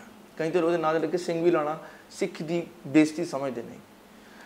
ਹੁਣ ਇਹ ਆਈਡੀਓਲੋਜੀਕਲ ਜਿਹੜਾ ਡਿਫਰੈਂਸ ਹੈਗਾ it's very black and white ਜਿਹੜੇ ਸਾਡੇ ਸਿੱਖਾਂ ਦੇ ਵਿੱਚ ਜਿਹੜੀ ਸੀਆ ਸੁੰਨੀ ਦੀ ਵੰਡ ਹੋ ਰਹੀ ਹੈ, ਇਹ ਜਿਹੜਾ ਸਾਡਾ ਆਮ ਸਿੱਖ ਹੈ, ਉਹ ਇਸ ਚੀਜ਼ ਨੂੰ ਕਿਉਂ ਨਹੀਂ ਸਮਝ ਪਾ ਰਿਹਾ ਕਿ ਇਹਨਾਂ ਦਾ ਸਕੂਲ ਆਫ ਥਾਟ ਸਿੱਧਾ ਬ੍ਰਾਹਮਣਵਾਦ ਤੇ ਰਾਮ ਨਾਲ, ਸ਼ਿਵ ਨਾਲ ਜੁੜ ਰਿਹਾ ਹੈ ਤੇ ਜਿਹੜਾ ਤਤ ਗੁਰਮਤ ਵਾਲਾ ਹੈਗਾ ਉਹ ਅਕਾਲ ਪੁਰਖ ਨਾਲ ਜੁੜ ਰਿਹਾ ਹੈ। ਤੇ ਹਜੇ ਜੇ ਅਮਰੀਕਾ ਹੋਵੇ, ਚਾਹੇ ਜਰਮਨੀ ਹੋਵੇ, ਚਾਹੇ ਇੰਡੀਆ ਹੋਵੇ, ਹਰ ਜਗ੍ਹਾ ਜਿਹੜੀ ਸੀਆ ਸੁੰਨੀ ਵਾਲੀ ਟੈਕਸ ਹੈਗੀ ਹੈ, ਇਹ ਕਿਉਂ ਹੈ? ਸੰਗਤ ਨੂੰ ਇਹ ਕਿਉਂ ਨਹੀਂ ਇਹ ਗੱਲ ਸਮਝ ਆ ਪਾ ਰਹੀ? ਦੇਖੋ, ਗੱਲ ਇਹ ਹੈ ਦਰਬਾਰ ਸਾਹਿਬ ਔਰ ਦਿੱਲੀ ਗੁਰਦੁਆਰਾ ਪ੍ਰਬੰਧਕ ਕਮੇਟੀ ਬੰਗਲਾ ਸਾਹਿਬ ਇਹ ਦੋ ਸਟੇਜ ਹਨ ਸਿੱਖਾਂ ਦੀਆਂ ਵੱਡੀਆਂ। ਜੀ। ਅ, ਖਾਸ ਕਰਕੇ ਕਿਉਂਕਿ ਟੈਲੀਵਿਜ਼ਨ ਤੇ ਇਥੋਂ ਦੀ ਕਥਾ ਆਉਂਦੀ ਹੈ ਤੇ ਇਹ ਬਹੁਤ ਸਾਰੇ ਲੋਕਾਂ ਤੱਕ they use uh, they use Dasam Granth as a tool to justify their point. ਤੇ ਇਹ ਸਭ ਤੋਂ ਵੱਡੇ persistent ਪ੍ਰੋਮੋਟਰ ਹੈਗੇ ਨੇ ਦਸਮ ਗ੍ਰੰਥ ਦੇ। ਦੇਖੋ ਗੱਲ ਜਿਹੜੀ ਮੈਂ ਕਰ ਰਿਹਾ ਵੀ ਇਹ ਦੋ ਵੱਡੀਆਂ ਥਾਵਾਂ ਨੇ ਜਿੱਥੋਂ ਪ੍ਰਚਾਰਕ ਦੀ ਕਥਾ ਜਿਹੜੀ ਪਹੁੰਚਦੀ ਹੈ ਲੋਕਾਂ ਤੱਕ। ਜੀ। ਆਫੀਸ਼ੀਅਲੀ ਪਹੁੰਚਦੀ ਹੈ। ਪਟਨਾ ਸਾਹਿਬ ਜਿਹੜਾ ਉੱਥੋਂ ਦੀ ਵੀ ਕਥਾ ਜਿਹੜੀ ਜਾਂਦੀ ਹੈ। ਤੋਂ ਇੱਥੇ ਕਿਉਂਕਿ ਕਬਜ਼ਾ ਹੈਗਾ ਬੀਜੇਪੀ ਦਾ। ਤੁਸੀਂ ਦੇਖੋ ਦਿੱਲੀ ਗੁਰਦੁਆਰਾ ਪ੍ਰਬੰਧਕ ਕਮੇਟੀ ਦਾ ਧਰਮ ਪ੍ਰਚਾਰ ਕਮੇਟੀ ਦਾ ਚੇਅਰਮੈਨ ਜਿਹੜਾ ਭਾਰਤੀ ਜਨਤਾ ਪਾਰਟੀ ਦਾ ਕਾਉਂਸਲਰ ਹੈ। ਮਿਊਨਿਸਪਲ ਕਾਉਂਸਲਰ ਹੈ। ਪਰਮਜੀਤ ਰਾਣਾ ਮਿਊਨਿਸਪਲ ਕਾਉਂਸਲਰ ਹੈ। ਜਨਰਲ ਸਕੱਤਰ ਐਮਐਲਏ ਹੈ। ਬੀਜੇਪੀ ਦਾ ਅਕਾਲੀ ਦਲ ਦਾ ਐਮਐਲਏ ਨਹੀਂ ਹੈ। ਸੋ ਇਹ ਸਾਰੇ ਦੇ ਸਾਰੇ ਕਿਉਂਕਿ ਪ੍ਰਬੰਧ ਜਿਹੜਾ ਹੈ ਉਹ ਭਾਰਤੀ ਜਨਤਾ ਪਾਰਟੀ ਕੋਲ ਹੈ ਇੱਕ ਕਿਸਮ ਦਾ ਬਟ ਉਹ ਤੋਂ ਹੁਣ ਆਇਆ ਹਾਂ। ਉਹ ਹੁਣ ਹੈ। ਜਦੋਂ ਤੱਕ ਪਰਮਜੀਤ ਸਿੰਘ ਸਰਨਾ ਕੋਲ ਰਿਹਾ। ਪਰਮਜੀਤ ਸਿੰਘ ਸਰਨਾ ਦੇ ਹੁੰਦਿਆਂ ਇੱਥੇ ਕੋਈ ਇਸ ਤਰ੍ਹਾਂ ਦੀ ਚੀਜ਼ ਨਹੀਂ ਪੇਸ਼ ਕੀਤੀ ਗਈ ਜਿਹੜੀ ਕਿ ਗੁਰਬਾਣੀ ਦੇ ਉਲਟ ਜਾਂਦੀ ਹੋਵੇ ਕੋਈ ਅਨਮਤੀ ਗ੍ਰੰਥਾਂ ਦੀ ਇੱਥੇ ਕਥਾ ਕੀਤੀ ਜਾਂਦੀ ਹੋਵੇ ਜਾਂ ਜਿਹੜੇ ਕਿ ਗੰਦਮੰਦ ਜਿਹਦੇ ਵਿੱਚ ਬਹੁਤ ਲਿਖਿਆ ਹੋਇਆ ਹੈ। ਜੀ। 650 ਰੁਪਏ ਗੰਦ ਮੰਗਦੇ ਨੇ ਉਹਦੀ ਕਥਾ ਉਹ ਆਈਡੀਓਲੋਜੀਕਲ ਡਿਫਰੈਂਸ ਹੈਗਾ। ਉਹ ਤੇ ਚਲੋ ਠੀਕ ਹੈ ਉਹ ਬੀਜੇਪੀ ਦੇ ਮੈਂ ਥੋੜਾ ਜਿਹਾ ਥੋੜਾ ਜਿਹਾ ਇਹਨੂੰ ਇਹ ਜਿਹੜਾ ਆਰਥੋਡਾਕਸਿਜ਼ਮ ਜਾਂ ਜਿਹੜਾ ਕਹਿ ਲੋ ਟਕਸਾਲ ਗੁੰਡਾ ਟਕਸਾਲ ਵਰਸਸ ਗੁਰਮਤ ਟਕਸਾਲ ਜਿਹੜਾ ਆਈਡੀਓਲੋਜੀਕਲ ਡਿਫਰੈਂਸ ਹੈਗਾ ਇਹ ਪਬਲਿਕ ਨੂੰ ਕਿਉਂ ਨਹੀਂ ਦਿਖਦਾ? ਪਬਲਿਕ ਨੂੰ ਦਿਸ ਰਿਹਾ ਮੈਂ ਉਹੀ ਤੁਹਾਨੂੰ ਦੱਸਣ ਲੱਗਾ ਸੀਗਾ ਵੀ ਬੇਸ਼ੱਕ ਇਹ ਦੋ ਵੱਡੀਆਂ ਸਟੇਜਾਂ ਇਹਨਾਂ ਦੇ ਕੋਲ ਨੇ। ਸੋਸ਼ਲ ਮੀਡੀਆ ਜਿਹੜਾ ਹੈ ਉਹਦੇ ਚ ਤਿੰਨ ਚਾਰ ਚੀਜ਼ਾਂ ਨਵੀਆਂ ਆ ਰਹੀਆਂ ਨੇ। ਇੱਕ ਤਾਂ ਜਿਹੜਾ ਫੇਸਬੁੱਕ ਹੈ ਜਾਂ WhatsApp ਹੈ, ਇੱਕ YouTube ਹੈ। YouTube ਤੇ ਹੁਣ ਤੁਹਾਨੂੰ ਇੰਨੀਆਂ ਕਥਾ ਮਿਲ ਜਾਂਦੀਆਂ ਨੇ ਧਾ- ਪ੍ਰਚਾਰਕਾਂ ਦੀਆਂ, ਗੁਰਮਤ ਦੇ ਪ੍ਰਚਾਰਕਾਂ ਦੀਆਂ, ਗੁਰਮਤ ਟਕਸਾਲ ਦੇ ਪ੍ਰਚਾਰ, ਤਤ ਗੁਰਮਤ ਦੇ ਪ੍ਰਚਾਰਕਾਂ ਦੀਆਂ, ਵੀ ਜਿਹੜੀਆਂ ਇਹਨਾਂ ਨੂੰ ਓਵਰਪਾਵਰ ਕਰ ਜਾਂਦੀਆਂ ਨੇ। ਕਿਉਂਕਿ ਇਹ ਨਹੀਂ ਉਹ ਕਾਊਂਟਰ ਨੈਰੇਟਿਵ ਦਿੰਦੇ ਨੇ। ਇਹ ਗੱਲ ਬਿਲਕੁਲ ਗੱਲ ਮੈਂ ਸਮਝ ਰਿਹਾ। ਦਕ ਇੰਨਾ ਜ਼ਿਆਦਾ ਕਾਊਂਟਰ ਇਹ ਇੱਕ ਚੈੱਕ ਕਰੋ ਨਾ YouTube ਤੇ। ਬਈ ਦਿਲਗੀਰ ਦੀ ਦੀ ਲੈਕਚਰ ਕਿੰਨੇ ਬੰਦੇ ਸੁਣਦੇ ਆ? ਪੰਥਪ੍ਰੀਤ ਸਿੰਘ ਦਾ ਕਿੰਨੇ ਸੁਣਦੇ ਆ? ਰਣਜੀਤ ਸਿੰਘ ਟੱਟਰੀਆਂ ਵਾਲੇ ਦਾ ਕਿੰਨੇ ਇੰਦਰ ਸਿੰਘ ਘੱਗਾ ਦਾ ਕਿੰਨੇ ਸੁਣਦੇ ਆ? ਤੇ ਇਥੋਂ ਗਿਣਤੀ ਦੀ ਅੰਦਾਜ਼ਾ ਲਾਓ ਵੀ ਉਹ ਲੋਕ ਘੱਟੋ ਘੱਟ ਇੰਨੇ ਜਿਹੜੇ ਨੇ ਮੇਰੇ ਹਿਸਾਬ ਵਿੱਚ ਇਹ ਜਿਹੜੀ ਵਿਊਅਰਸ਼ਿਪ ਹੈ ਘੱਟ ਤੋਂ ਘੱਟ 10 ਲੱਖ ਹੈ। ਇਸ ਤੋਂ ਘੱਟ ਨਹੀਂ ਹੈ। 10 ਲੱਖ ਵਿਊਰ ਜਿਹੜੇ ਨੇ, ਉਹ ਇਹ ਸੁਣਨ ਦੇ ਬਾਵਜੂਦ ਬੰਤਾ ਸਿਉਂ ਦੀ ਜਾਂ ਕਿਸੇ ਕੁਲਵੰਤ ਸਿਉਂ ਦੀ ਜਿਹੜੀ ਹੈ, ਜਿਹੜਾ ਝੂਠ ਕਥਾ ਜਾਂ ਉਹ ਜਿਹੜਾ ਕੈਲੀਫੋਰਨੀਆ ਦਾ ਗੁਰਪ੍ਰੀਤ ਸੀ, ਇਹ, ਇਹਨਾਂ ਨੇ ਮਿਸਯੂਜ਼ ਤੁਸੀਂ ਦੇਖੋ, ਰਹਿਤ ਮਰਿਆਦਾ ਕਹਿੰਦੀ ਹੈ ਵੀ ਗੁਰੂ ਗ੍ਰੰਥ ਸਾਹਿਬ ਦੀ ਹਜ਼ੂਰੀ ਵਿੱਚ, ਗੁਰਦੁਆਰੇ ਵਿੱਚ ਗੁਰੂ ਗ੍ਰੰਥ ਸਾਹਿਬ ਦੀ ਕਥਾ ਹੋ ਸਕਦੀ ਹੈ, ਪਾਠ ਹੋ ਸਕਦਾ ਹੈ। ਮਿਸਾਲ ਦੇਣ ਵਾਸਤੇ ਤੁਸੀਂ ਭਾਈ ਗੁਰਦਾਸ ਤੇ ਨੰਦ ਰਾਜ ਨੂੰ ਕੋਟ ਕਰ ਸਕਦੇ ਹੋ। ਮਿਸਾਲ ਦੇਣ ਵਾਸਤੇ ਉਹਦਾ ਕੀਰਤਨ ਨਹੀਂ ਕਰ ਸਕਦੇ। ਤੇ ਅਖੌਤੀ ਦਸਮ ਗ੍ਰੰਥ ਦਾ ਤਾਂ ਉਹਦੇ ਚ ਜ਼ਿਕਰ ਤੱਕ ਨਹੀਂ ਹੈ ਸਿੱਧੀ ਵਾਇਲੇਸ਼ਨ ਹੈ। ਕ- ਕਿਉਂਕਿ ਇਹਨਾਂ ਤੇ ਕਬਜ਼ਾ ਅਮ, ਮੈਂ ਸਮਝਦਾ ਬਈ 1920 ਵਿੱਚ ਸਿੱਖਾਂ ਨੇ ਗੁਰਦੁਆਰਾ ਸੁਧਾਰ ਲਹਿਰ ਚਲਾ ਕੇ 500 ਸ਼ਹੀਦੀਆਂ ਦਿੱਤੀਆਂ 500 ਜੇਲ੍ਹਾਂ 'ਚ ਗਏ ਲੱਖਾਂ ਰੁਪਏ ਜੁਰਮਾਨਾ ਉਦੋਂ ਦੇ ਲੱਖਾਂ ਰੁਪਏ ਜੁਰਮਾਨੇ ਹੋਏ ਤੇ ਉਹਨਾਂ ਨੇ ਆਜ਼ਾਦ ਕਰਾ ਲਏ ਨਿਰਮਲਿਆਂ ਤੇ ਉਦਾਸੀਆਂ ਕੋਲੋਂ ਪਰ ਬਾਦਲ ਦੇ ਆਉਣ ਤੋਂ ਬਾਅਦ ਇਹ ਦਰਬਾਰ ਸਾਹਿਬ ਜਿਹੜਾ ਇਹਦੇ ਤੇ ਫਿਰ ਨਿਰਮਲਿਆਂ ਦਾ ਕਬਜ਼ਾ ਹੋ ਗਿਆ ਕਿਉਂਕਿ ਚੌਕ ਮਹਿਤਾ ਡੇਰਾ ਜਿਹੜਾ ਆਪਣੇ ਨੂੰ ਟਕਸਾਲ ਕਹਿੰਦਾ ਇਹ ਉਹ ਨੇ। ਤੁਸੀਂ ਇਹਨਾਂ ਦੀ ਜੇਕਰ ਕੁਰਸੀਨਾਮਾ ਦੇਖੋ ਵੀ ਕਿਸ ਤਰ੍ਹਾਂ ਇਹਨਾਂ ਦਾ ਬੰਦਾ ਪ੍ਰਣਾਲੀ ਜਿਹਨੂੰ ਆਪਣੀ ਕਹਿੰਦੇ ਆ ਵੀ ਸਾਡੀ ਟਕਸਾਲ, ਪਹਿਲਾਂ ਭਾਈ ਮਨੀ ਸਿੰਘ ਤੋਂ ਚਲਾਉਂਦੇ ਸੀ, ਫਿਰ ਬਾਬਾ ਦੀਪ ਸਿੰਘ ਤੋਂ ਚਲਾਉਣੀ ਸ਼ੁਰੂ ਕਰ ਦਿੱਤੀ ਵੀ ਭਾਈ ਮਨੀ ਸਿੰਘ ਤਾਂ ਉਦੋਂ ਚੜ੍ਹਾਈ ਕਰਕੇ ਜਦੋਂ 1 ਸਾਲ ਦਾ ਸੀਗਾ ਸੂਰਤ ਸਿੰਘ, ਕਿਉਂਕਿ ਸੂਰਤ ਸਿੰਘ ਨੂੰ ਆਪਣਾ ਵੱਡਾ ਮੁਖੀ, ਇੱਕ ਇੱਕ ਹੋਰ ਗੱਲ ਕਰਨੀ ਚਾਹਾਂਗਾ। ਸੂਰਤ ਸਿੰਘ ਦਾ ਪੁੱਤਰ ਸੰਤ ਸਿੰਘ ਸੰਤ ਸਿੰਘ ਦਾ ਪੁੱਤਰ, ਗੁਰਮੁਖ ਸਿੰਘ ਦਾ ਪੁੱਤਰ, ਪ੍ਰਦੁਮਨ ਸਿੰਘ, ਇਹ ਸਾਰੇ ਦੇ ਸਾਰੇ ਨਿਰਮਲਿਆਂ ਦਾ ਕਬਜ਼ਾ ਸੀਗਾ ਜਿਨ੍ਹਾਂ ਕੋਲੋਂ ਆਜ਼ਾਦ ਕਰਾਇਆ। ਅੱਜ ਉਹੀ ਅਖੌਤੀ ਟਕਸਾਲ ਫਿਰ ਗੁਰਦੁਆਰੇ ਦੇ ਉੱਤੇ ਕਾਬਜ਼ ਹੈ। ਸਭ ਉਹਨਾਂ ਦੀ ਮਰਜ਼ੀ ਦੇ ਨਾਲ ਚੱਲਦਾ ਹੈ ਜਾਂ ਆਰਐਸਐਸ ਦੀ ਮਰਜ਼ੀ ਮਰਜ਼ੀ ਦੇ ਨਾਲ ਚੱਲਦਾ ਹੈ। ਤੁਸੀਂ ਦਰਬਾਰ ਸਾਹਿਬ ਵਿੱਚ ਇੱਕ ਵੀ ਸ਼ਬਦ ਐਸਾ ਨਹੀਂ ਪੜ ਸਕਦੇ ਜਿਹਦੇ ਵਿੱਚ ਹਿੰਦੂ ਮਿਥਾਸ ਦੇ ਵਿੱਚ ਉਹ ਜਿਹੜੇ ਉਹਨਾਂ ਦੇ ਦੇਵੀ ਦੇਵਤਾ ਨੇ ਉਹਨਾਂ ਨੂੰ ਰਿਜੈਕਟ ਕੀਤਾ ਗਿਆ ਹੋਵੇ ਜਾਂ ਉਹਨਾਂ ਦੀ ਕ੍ਰਿਟਿਸਿਜ਼ਮ ਕੀਤਾ ਹੋਵੇ। ਮਿਸਾਲ ਵਜੋਂ ਇੱਕ ਸ਼ਬਦ ਹੈ ਨੰਦ ਕੋ ਨੰਦਨ ਕਾਸੋਰੇ ਕਬੀਰ ਦਾ ਹੈ, ਗੁਰੂ ਦਾ ਵੀ ਕਿਸੇ ਦਾ ਨਹੀਂ। ਉਹਦੇ ਚ ਦੱਸਿਆ ਵੀ ਤੁਸੀਂ ਕਹਿੰਦੇ ਹੋ ਵੀ ਉਹ ਨੰਦ ਦਾ ਪੁੱਤਰ ਸੀਗਾ ਕ੍ਰਿਸ਼ਨ ਤੇ ਆਨੰਦ ਕਿਹਦਾ ਪੁੱਤਰ ਸੀਗਾ?